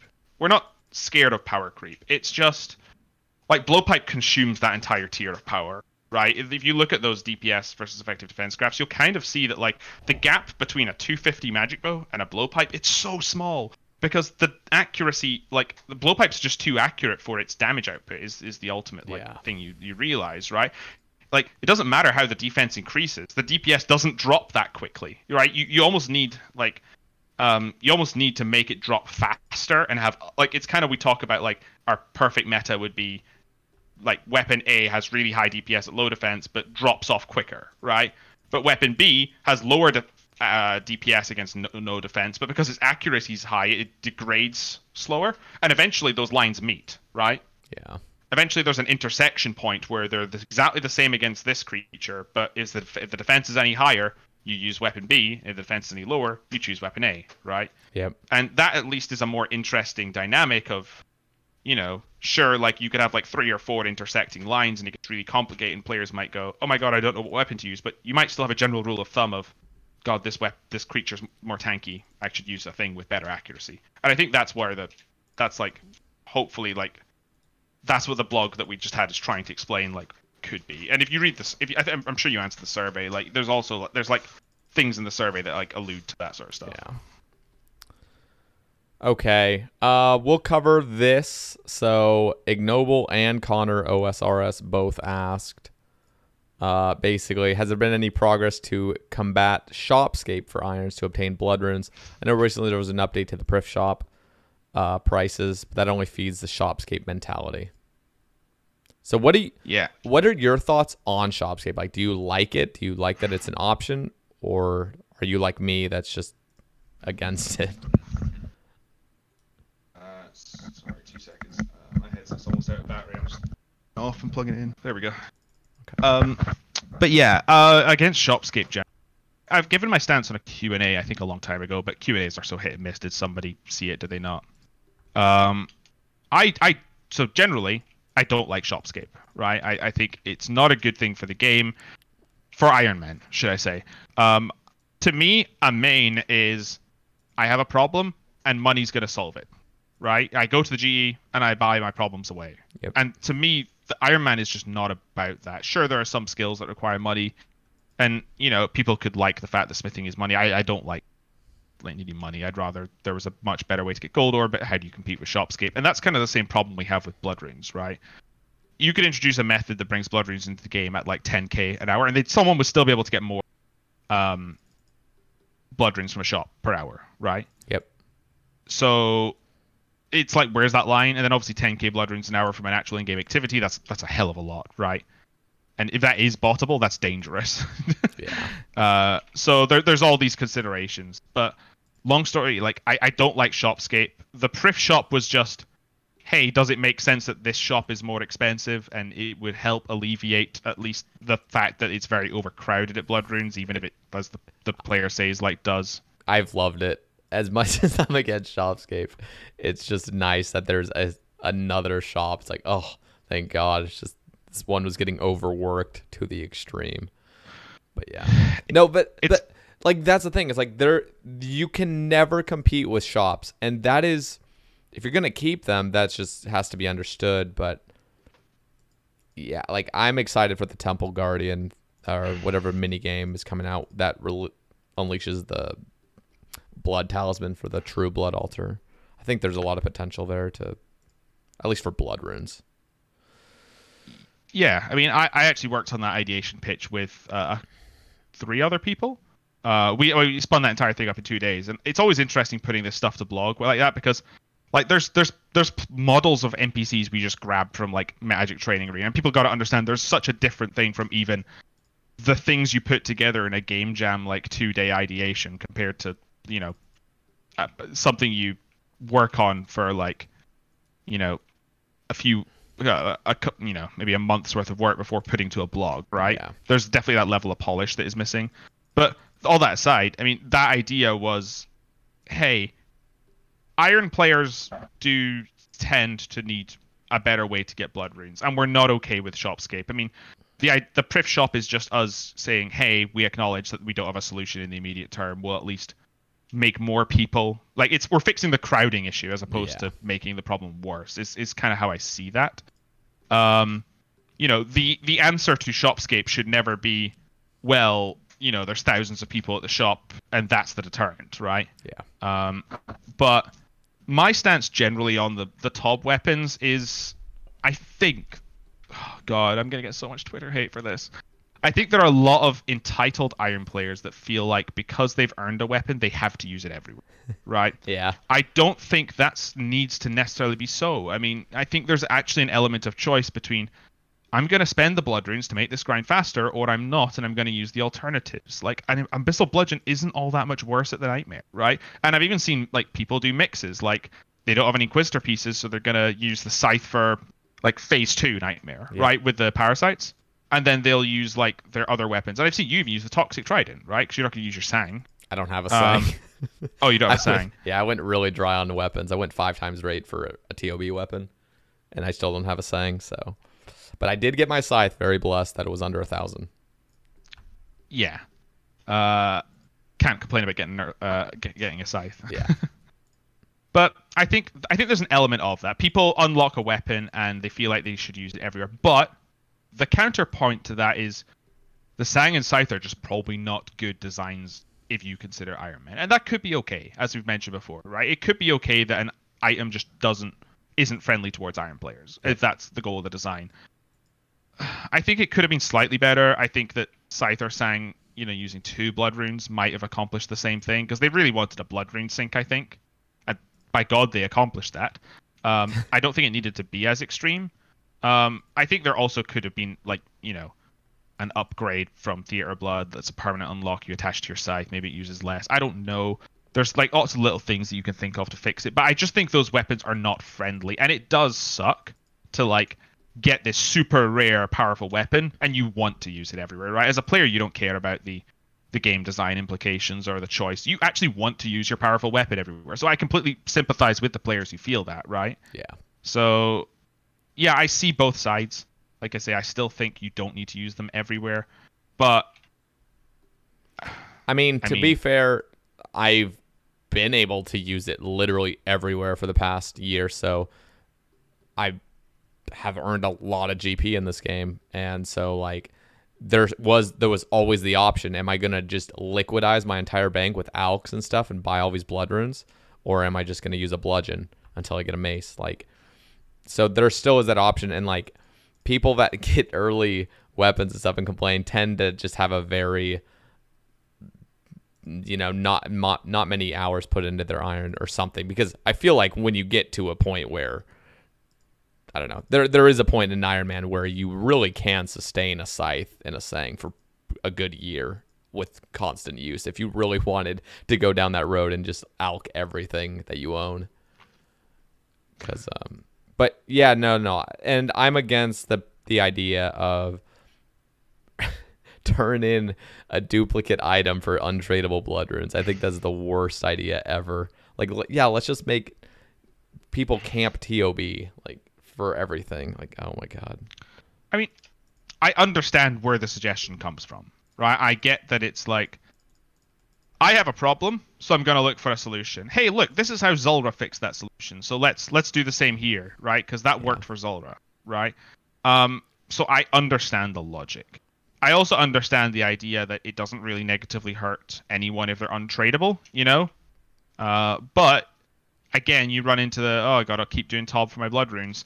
It's kind of why I, that's what Guardians of Gielinor's attempt to do with the blood talisman, the rune crafting outfit, even the mini game itself, is to say, hey, you know, there is a way to get blood runes that's faster than the 2k ish an hour Yeah, that's um, pretty low. at Zeah. You know, that is going to be more like traditional runecraft, where you can get bloods. You're still going to have to invest the time runecraft. But, you know, players constantly meme about, or meme, it's, meme's the wrong word. It's a legitimate thing, where, like, you could runecraft to 99 runecrafting and still not have enough blood runes for, like, a year. You know, that sort of idea, if you use it hard. Like, hopefully this will fix that thing, where, like, you know, if you did do 99 runecrafting only on blood runes, you'd probably have blood runes for a lot longer, right? Because you're getting more blood runes per XP, sort of thing, you know? Um, Nah, hopefully I'm- that's I'm a fix. excited. Yeah.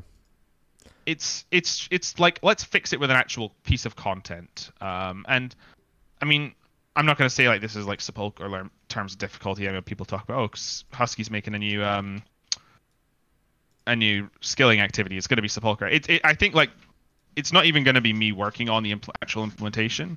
Um, if it goes forward, because I mean, I think I'm basically pegged for uh, Leagues Three, regardless of whatever anything else. I, I think like players aren't going to be surprised by that either. Um, but I'm excited to see what comes of it if if we end up doing it. Um, I know that like roadmaps are like super up in the air always, right? You know, we always try to adapt our roadmaps to hopefully what the players like what we need for the players and i think that's the biggest thing that is like players are it's the reason people complain about raids 3 you know it's we want something in a while and then when we actually look at our roadmap we're like oh and by we i mean the old school team and not me because i'm not part of production right? But you know even the team give feedback on it critically right? You know like like oh like hey like maybe we should add this or maybe we should do this or maybe we should tweak that right? But you know when you look at it and go oh it has actually been a long you know, and combat achievements was going to be the only PVM thing, and that's been delayed. You can see why people get frustrated, right? Yeah. And why they want something new. And hopefully, you know, Phosani's and ToB hard mode will help that, but we acknowledge that this isn't this isn't the shiny new thing they want. And yes, it is recycling content, but you know, if we can recycle content to provide something, you know, in the immediate term because people are unhappy, you know, that doesn't also mean that we can't, you know, do other things in the future. Yeah. If that makes sense. That that's that's that's the same answer that like uh, Mod Swing gave on the on the Q and A. You know, Yeah.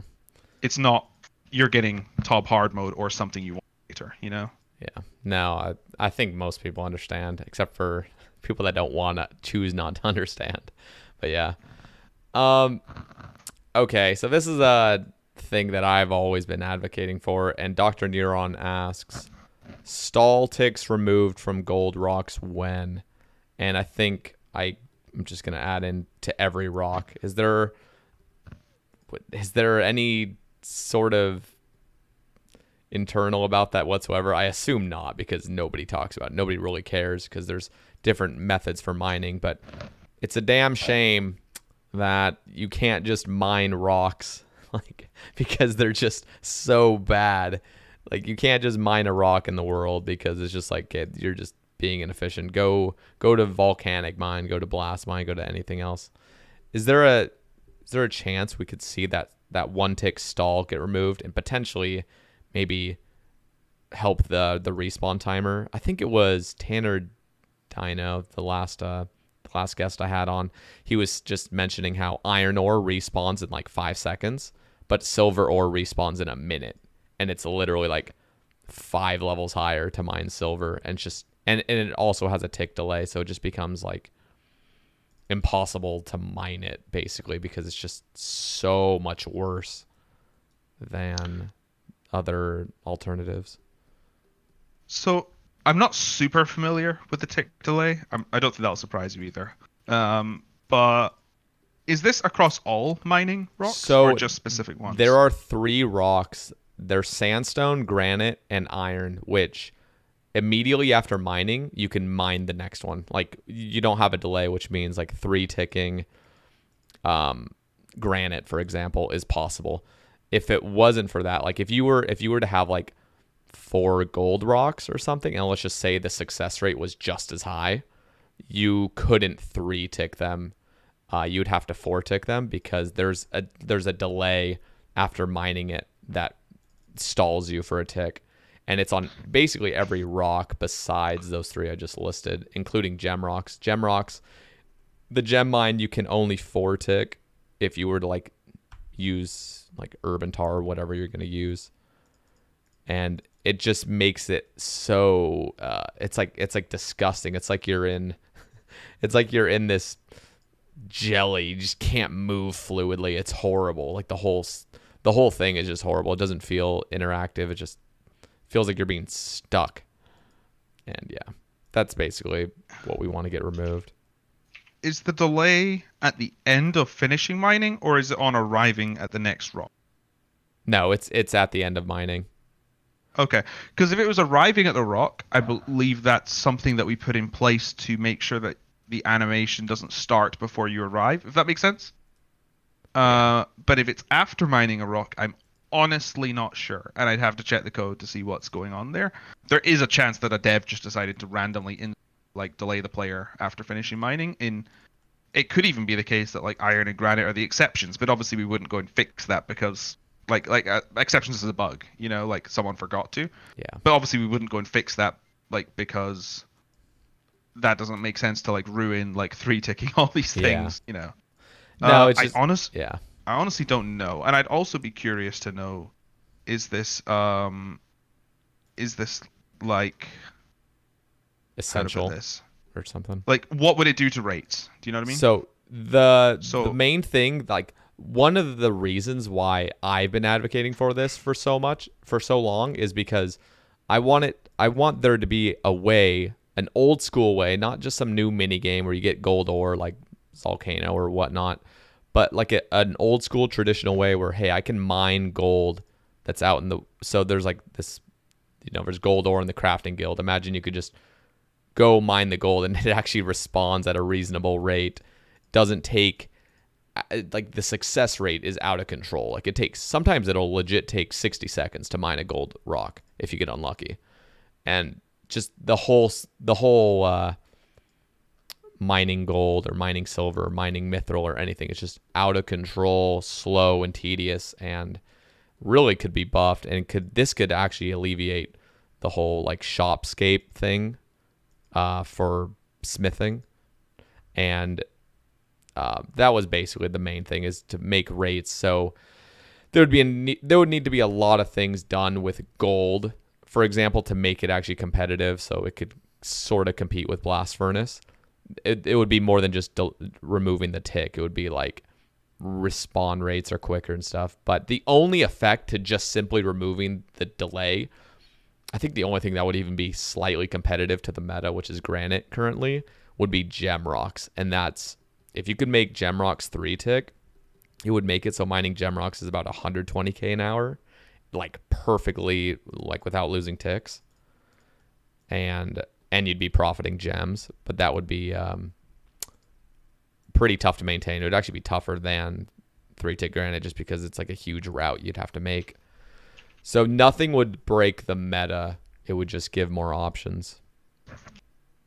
Sure. So I think like it definitely needs more investigation to the meta side anyway, right? And like Yeah. even like poll to the community in that regards, you know, in terms of would you guys be okay with this happening to Gemrocks and would you be okay with this achieving this level of mining rates theoretically and you know, you you, you definitely want to poll something like that that was this meta changing. Yeah.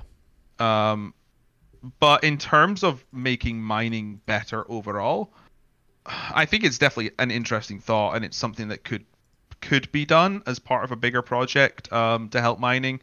Uh, I'm not gonna lie, when um, you know, I actually went through a similar thing that a lot of our content creators did, where it was like, oh, let's let's try RuneScape 3 out uh, recently. Um, I did actually really like their their mining rework from a player perspective. Now, our our game would hate it in terms of like um, it would completely remove like any like three tick mining and spoke about. But I did like the. I'm not sure if you've seen how they, their mining works, but it, it's essentially like a soft kind of wood cutting in it. Like you can mine a rock for a while. It eventually, like, because they have like some sort of like action bar or something that Yeah, I. d- it's like an energy resource that like depletes or something. yeah, and once I you've mined Ari it for too Slash. long, Yeah, I saw Ari It- slash mining like a gold rock in the crafting guild, and he just sat there. Yeah, and you need to make sure you click it before, like, otherwise you'll start mining a lot slower. So it's Okay. like, so it's like it's like uh, it's not as like AFK as woodcutting in that regard, but like you know, it, it was its own thing. And then they also had this thing where like rocks start lighting up around you, and if you click this one, I think you do more because it, it, it, their system's kind of around doing damage to the rock to get ore. Yeah. Uh, is kind of roughly how it's coded. But I did like the idea that it was more fluid in terms of the rate at which you get ore, and obviously it was accompanied by a much greater rework to, you know, Rune actually being tier 40 and all this stuff. Um, I think it would be interesting to pitch to the community a mining rework in the say that would, you know, as you said, like actually allow people to go into the world and mine. Yeah. I think the biggest thing they did that helped that, which could be explored, was like you have like an ore box. So like you're not just limited to 28 ore and then you know miles from a bank, but you could actually store like 100 or so ore in this ore box. You know. Yeah. What What was really cool is that would actually be really cool because I was just thinking adding a deposit box um, next to like the Brimhaven horseshoe, where that like gold horseshoe is, or a bunch of gold rocks, um, up in Brimhaven, just where nobody ever goes. But uh, it would be kind of a cool thing if like okay, there's this little spot in Brimhaven where you can actually go mine a bunch of gold, and it's actually pretty quick. If you're like gonna you know put in some effort you could actually get a lot of gold pretty quickly and it wouldn't it wouldn't cost money and you wouldn't have to use shops. And but yeah.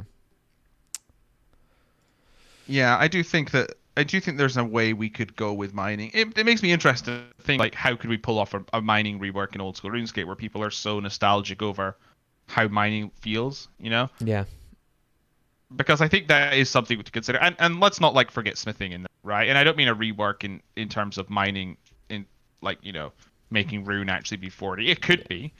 It, it could not be as well. Um there, there's so much to consider with like what that does to alt price of items and blah blah, blah you know? yeah Um, but I do agree that like mining is not. Mining is so weird, right? Mining is one of those skills that's in one of the best places in terms of diversity to train it, but not in terms of like interesting ways to get the actual supplies, right? Because volcanic mine is a completely like in cool mini game yeah but you get next to nothing for it because the you know you, the ore that you spend points on is, you don't get all that much, and even then, like it's not traditional mining in terms of oh I mined an iron ore. It's I bought an iron ore from a shop with Yeah. points, right? So it's kind of like that extra layer that like dilutes it almost like what you're doing. Um, then you've got Motherlode Mine, which is just like, hey, you can AFK it, which is again another nice thing to have as like an option to train mining, but the ore is completely random. Um, so it just kind of feels like you're getting a collection of it. And blast blast uh, mining is the same, but like obviously more XP and more interactive, right? Yeah.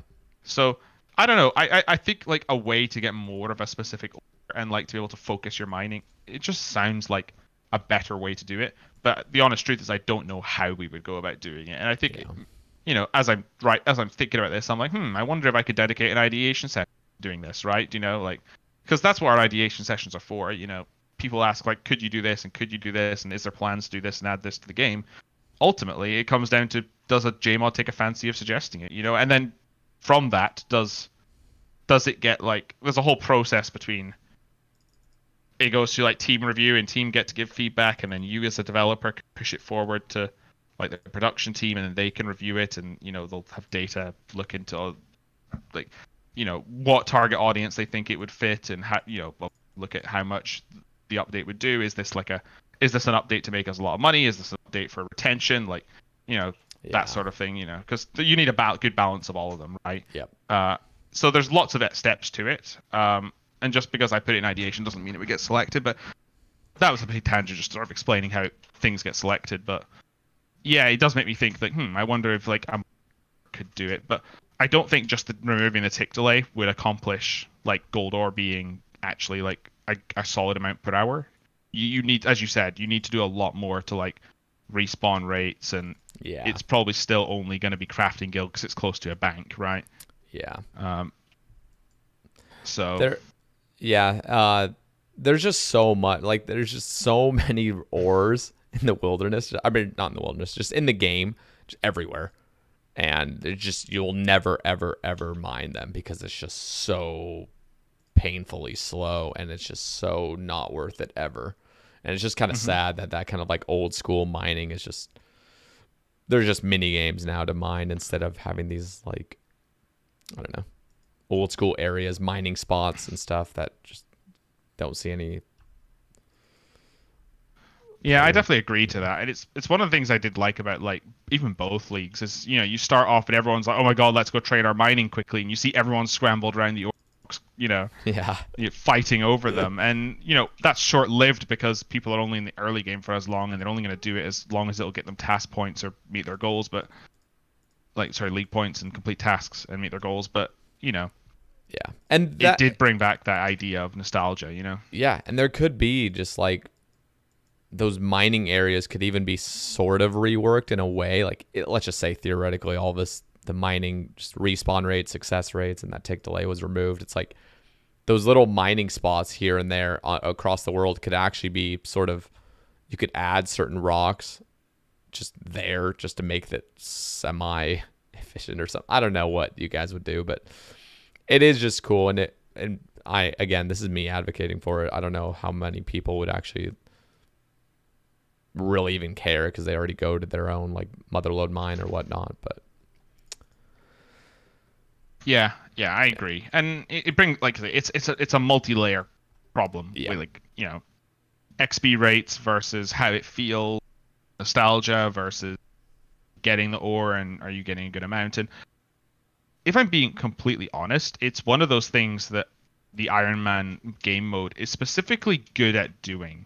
Uh, we notice this a lot with Twisted League. Is when players are forced to be self-sufficient, it points out some I'm not going to say flaws, but potential issues that could exist with the game design, right? Because if something is bad, a player who's a main could just buy their way around it, right? But Yep. when you don't have that option, you suddenly go, oh, it really is strange that there is no actual good way to get all the ores you need for smithing, yeah, right?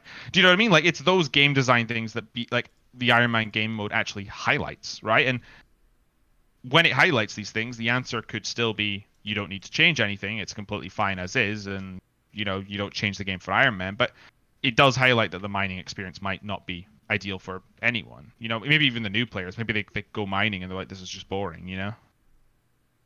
Um. So. Yeah. Yeah. Okay. Interesting. Yeah, no, there's a bunch of things. We'll move on. Uh, Manked just asks, can he just talk about DMM for like 10 minutes to get me hyped? So, Manked was also a previous guest on the Sae Bae Cast. I'll give him the courtesy. Do you have anything to say about DMM? Yeah, so I'm just gonna double check because I did ask what I'm allowed to say before that because I saw Mank's question because I don't I don't want to leak stuff uh, accidentally. Um. Cool. Yeah. So sorry, just recapping what I what I spoke to him about. Um. So it's hard to commit to anything because like you know until we give release dates to players and until we have blogs out with information, you know, it's hard to say yes we're working on this yes it's coming out you know or you know in 2021 or in 2022 or, or Yeah. whatever right uh, but um, there is definitely a lot of appetite in the team uh, and amongst the leadership team to do something new fresh and exciting with deadman mode that i'm not going to say like more akin to league i, I want to say akin to leagues but not in terms of like, how they work but in terms of each deadman mode feeling very special uh, being a yearly thing. You know, we do things to shake up the metas in huge ways. I'm not saying we take away a Verac's flail, right? Yeah. You know, that suddenly that's not a meta. I mean, like in terms of, you know, let's actually shake up like the entire the entire game of Deadman mode and and, and truly just like bring it back because Deadman mode suffered for lots of reasons. You know, like whether it was not enough dev time put into it. Uh, again, I'd have to reiterate, I wasn't on the team at the time and I don't know all the decisions that were made, but you know, when when assist when you basically go from a season that is, you know, um, three months long, and you finish the finale, you see how that all played out, but the next season starts instantly. Where was the time to do feedback changes? Yeah. Right. You know, it it didn't exist, right? And like even leagues, we spend so much time looking over the feedback and reviewing how the league went, how did the early game feel, the mid game, the late game, right? That same treatment should be done for Deadman, and it's not about trying to fix it, right? Because I think that like disallowing Venom is like Venom's too overpowered, so we're just going to remove it, right? And that does change the meta somewhat. But like maybe you add rules in a way that makes it so that that's not as broken, right? Yeah. you know, or like to, to address the issue in other ways. Um, and as part of like, because like honestly, I swear I've been working on nothing but like designs for stuff, whether it be ERB, combat achievements, um, and dead man I have actually been asked to work on a design that's currently going through like sort of team review, um, and I'm quite excited to show it to players when that eventually gets through the system. With that, um, it does do everything I just said in Shake It Up the Dead Man. Uh, and ultimately, the way I feel about that thing is it needs to go through some sort of player feedback. Whether we have like smaller groups of player feedback sessions before going to wider players, you know, with people who know Deadman mode, or maybe we just put it all out to players at once. Uh, leagues, we typically, you know, we we can surprise the players with leagues because we're doing it. It's unpolled, and we can, you know, put like you know 75% of our dev work in then reveal it. You know it's it's like what i spoke earlier about the surprise factor i think leagues is the one thing we actually have where we can surprise the players in what we're offering. Yeah. um i wouldn't want to do the same for deadman though because i feel like it almost needs that like player level of review and approval before Yeah. we proceed with it. So yeah i'm i'm super excited to do about it. Um i'm excited to work on some pvp stuff as well. Um i i know that like god i, I always talk about this a little bit as well but there is a there's an opinion in the community that I hate PvP, and that's just not true, right? I don't PvP in my spare time. Uh, that that's a fact, and the honest truth of that is, I don't think I would enjoy doing old school RuneScape PvP in my spare time, and unless Jagex want to pay me to do it in my work time, I'm probably not going to, right? Yeah. And you know that's a personal choice. Like Yeah. Jagex do not own my free time. Uh, they, they they they get enough of that as it is with me sometimes staying back later than I should. so, but all that aside, I'm I am excited to like you know have worked on a design for PvP content. You know because it's not something I've I've had a chance to do. Um, and I think most of the reason people think I hate PvP stems from me again being stupid as a new dev. Remember I said about like how you need to realize what you're saying and how you speak to people Yep. like in the community. I'm not sure if you know this. There was a there was a clip that was taken from a Q&A like back when I was very new, and it was one you know Twitch chat was spamming fix PvP, fix PvP, fix PvP, right? And it this is when like I Oh was no! very sort Oh, of like- oh, oh, I can visually remember this actually. So- I can visually remember this, and I laughed Yeah. out loud because. Yeah. so young young Yeah. Go on. Go on. Go on. Young new husky right is just like i want to help fix everyone. I want to help fix the problems but i don't understand what you mean by fix pvp all i know is you want something you want an update but i don't know what the hell you want. So i said to players it's kind of annoying when you just spam fix pvp can you actually just tell us what you want instead? Like actually provide meaningful discussion? Now the problem is that the way this comes is oh my god are you are you kidding me we've been presenting pvp ideas to jagex for god knows how long and they don't know what we want remember this was this was me that spoke being fairly Yeah. new to the company and not Yeah. being involved in any of those previous discussions or anything from there and that's why if you from the clip alec actually shut me down right he actually turned around and said, "Well, from the player's perspective, you know, they have given those suggestions." And I'm sitting there like, "Oh, I, I didn't realize that, right?" And people Yeah. go, "Uh, you know, Husky just wants his own agenda, only wants Iron Man stuff." You know, like, yeah, like, you know, I in my ideation pitches, I've come up with content that sometimes, like, you know, I I come up with content that I think is fun, but I have actually come up with about three PvP pitches, and just because they haven't seen the light of day or I've had feedback on that these changes or just because players haven't seen them and they might be in our backlog to pull in future. It doesn't mean I hate PvP and don't want to do any PvP stuff. Yeah. You know, so you know, genuinely excited for for some of the, the Deadman mode stuff that I've been working on design and, and hopefully players will see. I don't know the timeline, you know. I'm Yeah. I'm I- unfortunately not in, in charge of that, but I, I agree. I think I think PvP is good for the game if, if like if it's done well and stuff. Do I PvP? No. Is LMS fun occasionally? Yeah. But um like I I'm a huge fan of PvP. I'm not a huge fan of the like the predator versus prey wilderness bait and stuff, but absolutely PvP tournaments are amazing and it I mean yeah, but I'm not going to really participate in it. I'm just not into it. I'm more into Iron Man progression. Yeah. No, I, I definitely feel that. But food for thought. Um, when people say they want PvP updates, are they asking for PvP updates or PKing updates? PKing. Because I think I think people don't realize there's a difference. Because PKing is PvP, but not all PvP is PKing, Yeah. right? And people say we want PvP updates, and like, you know, in the loosest sense, Soul Wars is a PvP update. Quite literally by definition, it's player versus player minigame Yep. right? But that doesn't seem to be what the players want.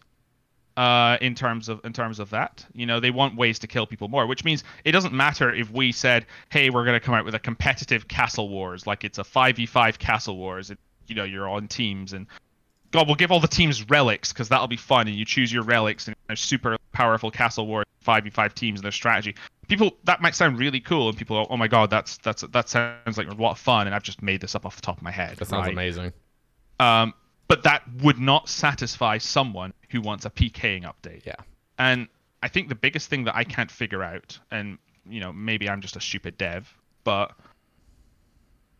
if people just want the experience of killing people for loot in the wilderness, it's really, really hard to talk about like giving people that experience that they had when they were younger because the experience was I'm going to kill these people who don't know about item protection or skulling and activate and protect item prayer and they're they're just going to wear the gear that they think is cool and you know that makes them powerful and they're not really thinking about it. And the PKers were bad back in the day generally compared to Yep. now anyway, right? You, there's a difference between recreating the experience and recreating the content that people want, right? Yeah. Because players are smarter these days, right? People know exactly how to get the most offensive value for the least amount of risk, and they know exactly how to make sure that they don't lose what they're they're risking, right? Yep. So that's why a lot of the stuff generally for like PvP content is like, okay, well, if players aren't risking, we're going to introduce like, you know, things through Bounty Hunter, like they provide additional value on kill, and then, you know, you have the you have the issue of then of like being very bottable and farmable because in PvP, what sets the difficulty? It's Yep. the opposing player. And if the opposing player is just going to fall over because that's the meta to get more money, the players Yep. will fall over. Player I don't know if I said this already in this podcast, uh, but players choose the path of least resistance. Yep. And that's not the play. That's not the player's fault. That's the dev's fault for make for not for having a path of least resistance. You know. Yeah.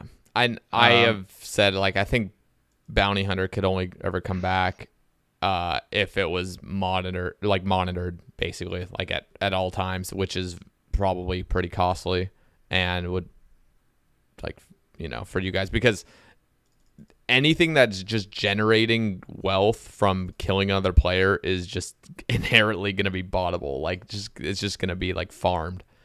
And so like it has to be monitored or else you're going to run into that issue. Anything with like bh anything that's just generating rewards And I don't know if players of get this. I don't want to just like pass the buck and say, "Hey, it's not my fault to like ban bots," because I mean, it's not my. It literally isn't my job to ban bots, right?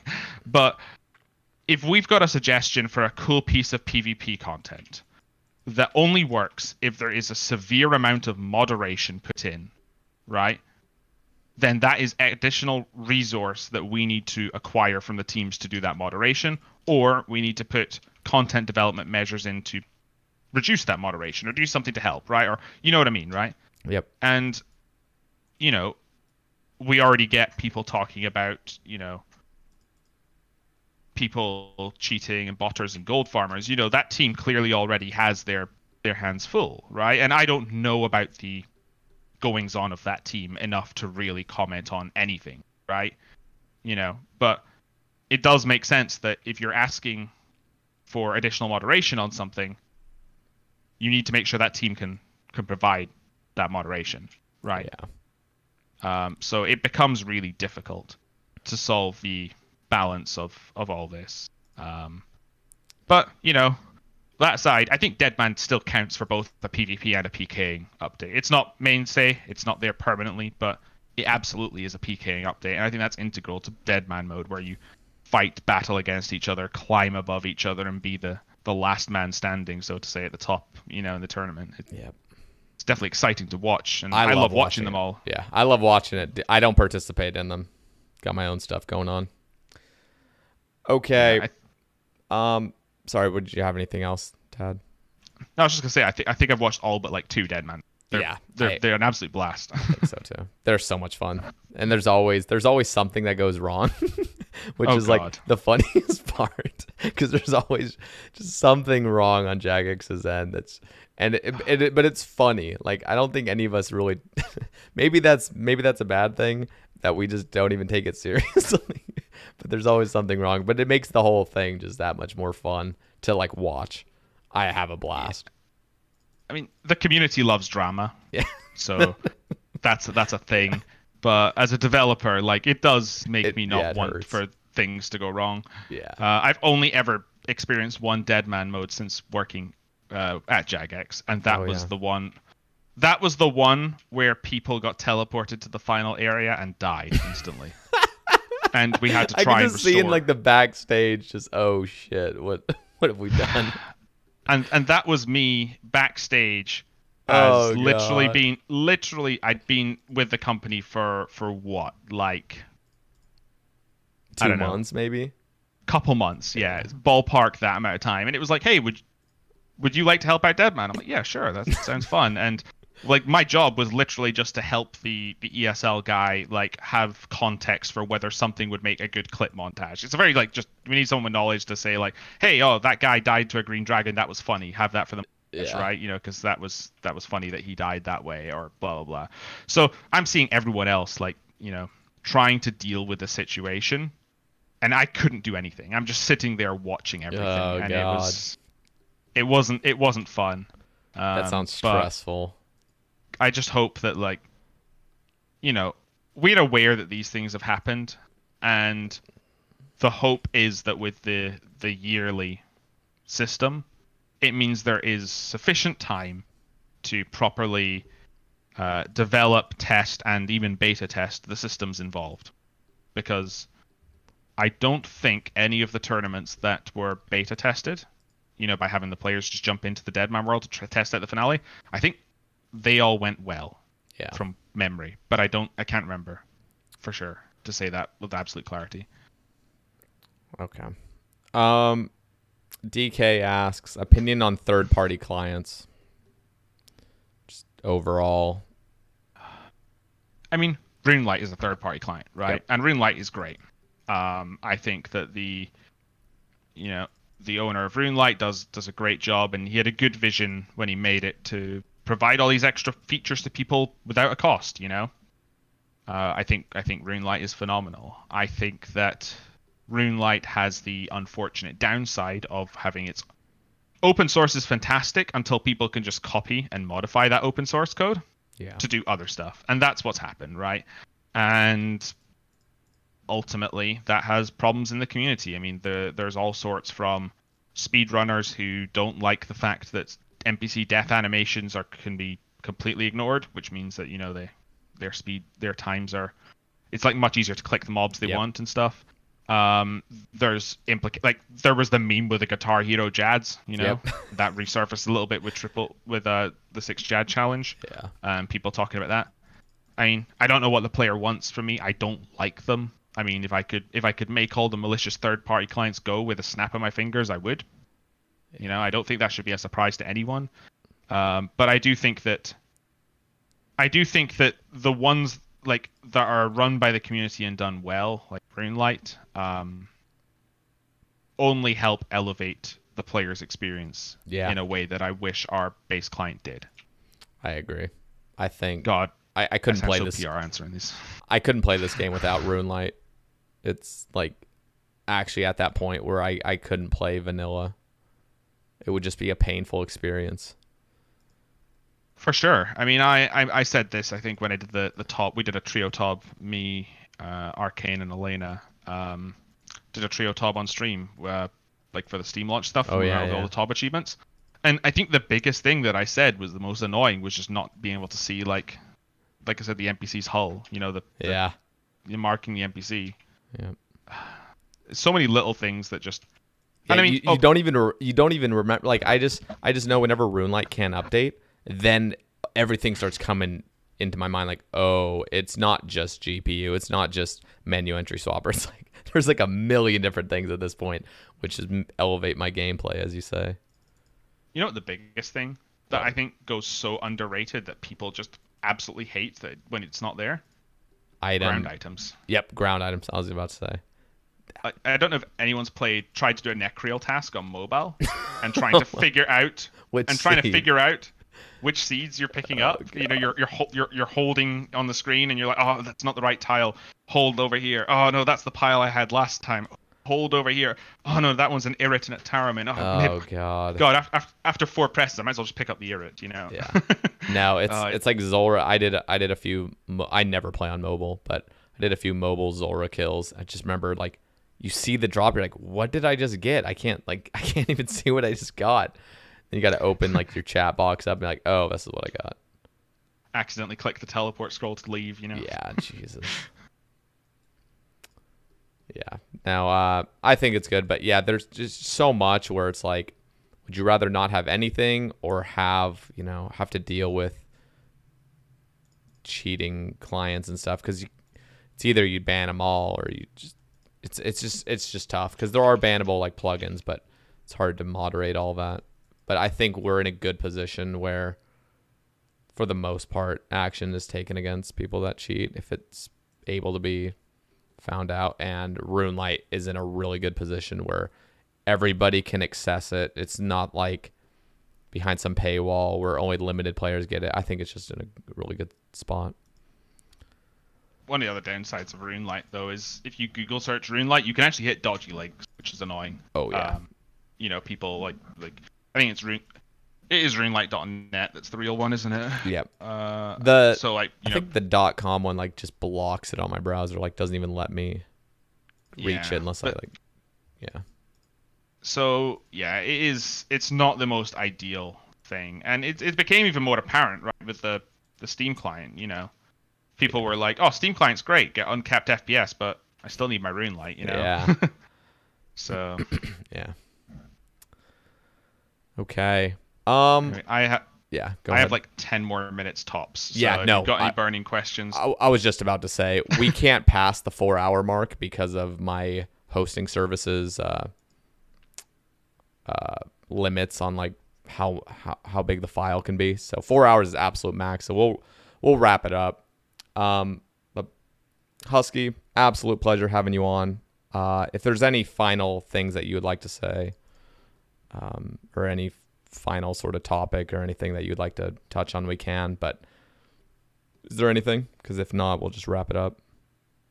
No, just um, it's been a pleasure for having me. Um, I'm excited as always to see what the players think of upcoming things that we, we talk about in blogs. I think I know it's frustrating for a lot of people, you know, wanting Raids 3, but I honestly believe that this is going to be one of the biggest years in terms of the quantity and quality of updates, even if not all of those are updates that specific player groups themselves want, if that Yeah. makes sense. Um, I think Below Ice Mountain is super high quality. I think that um, I think it sh- it goes to, like even just looking at the Kingdom Divided, we did a playthrough today. It's phenomenal. So yeah, just hopefully stick with us, uh, players. Um, hopefully, you know, we get the content updates that maybe specific people are looking forward to soon. And you know, there's some blogs coming up. You know, combat achievements will be around the corner. ERB is gonna be a contentious discussion as well, but Yeah. hopefully players, you know, give good feedback and stay civil, and then, you know, moving on to hopefully bigger and better things. And the Dead Man I spoke about, you know, I'd, I'd hope. I don't know when that would be player facing. I don't know if it's going to be this year, but I really hope so. You know, so Well, awesome. Yeah, thank, just- thank you so much for being on. I was very pleased that you were just so willing to be on it.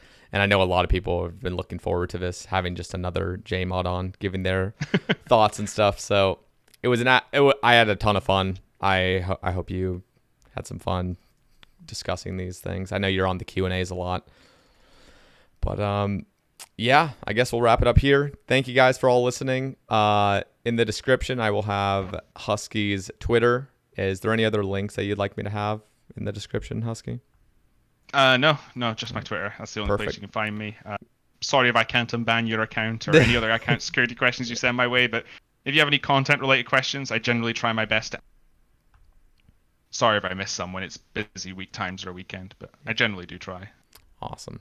Well, thank you so much. We'll end it up here. And thank you guys for listening. And next week, we are going to have a special guest. So, uh, or I guess the special guest is like, there's always a special guest every week. But thank you guys. And we'll see you in the next one. Take it easy. See ya.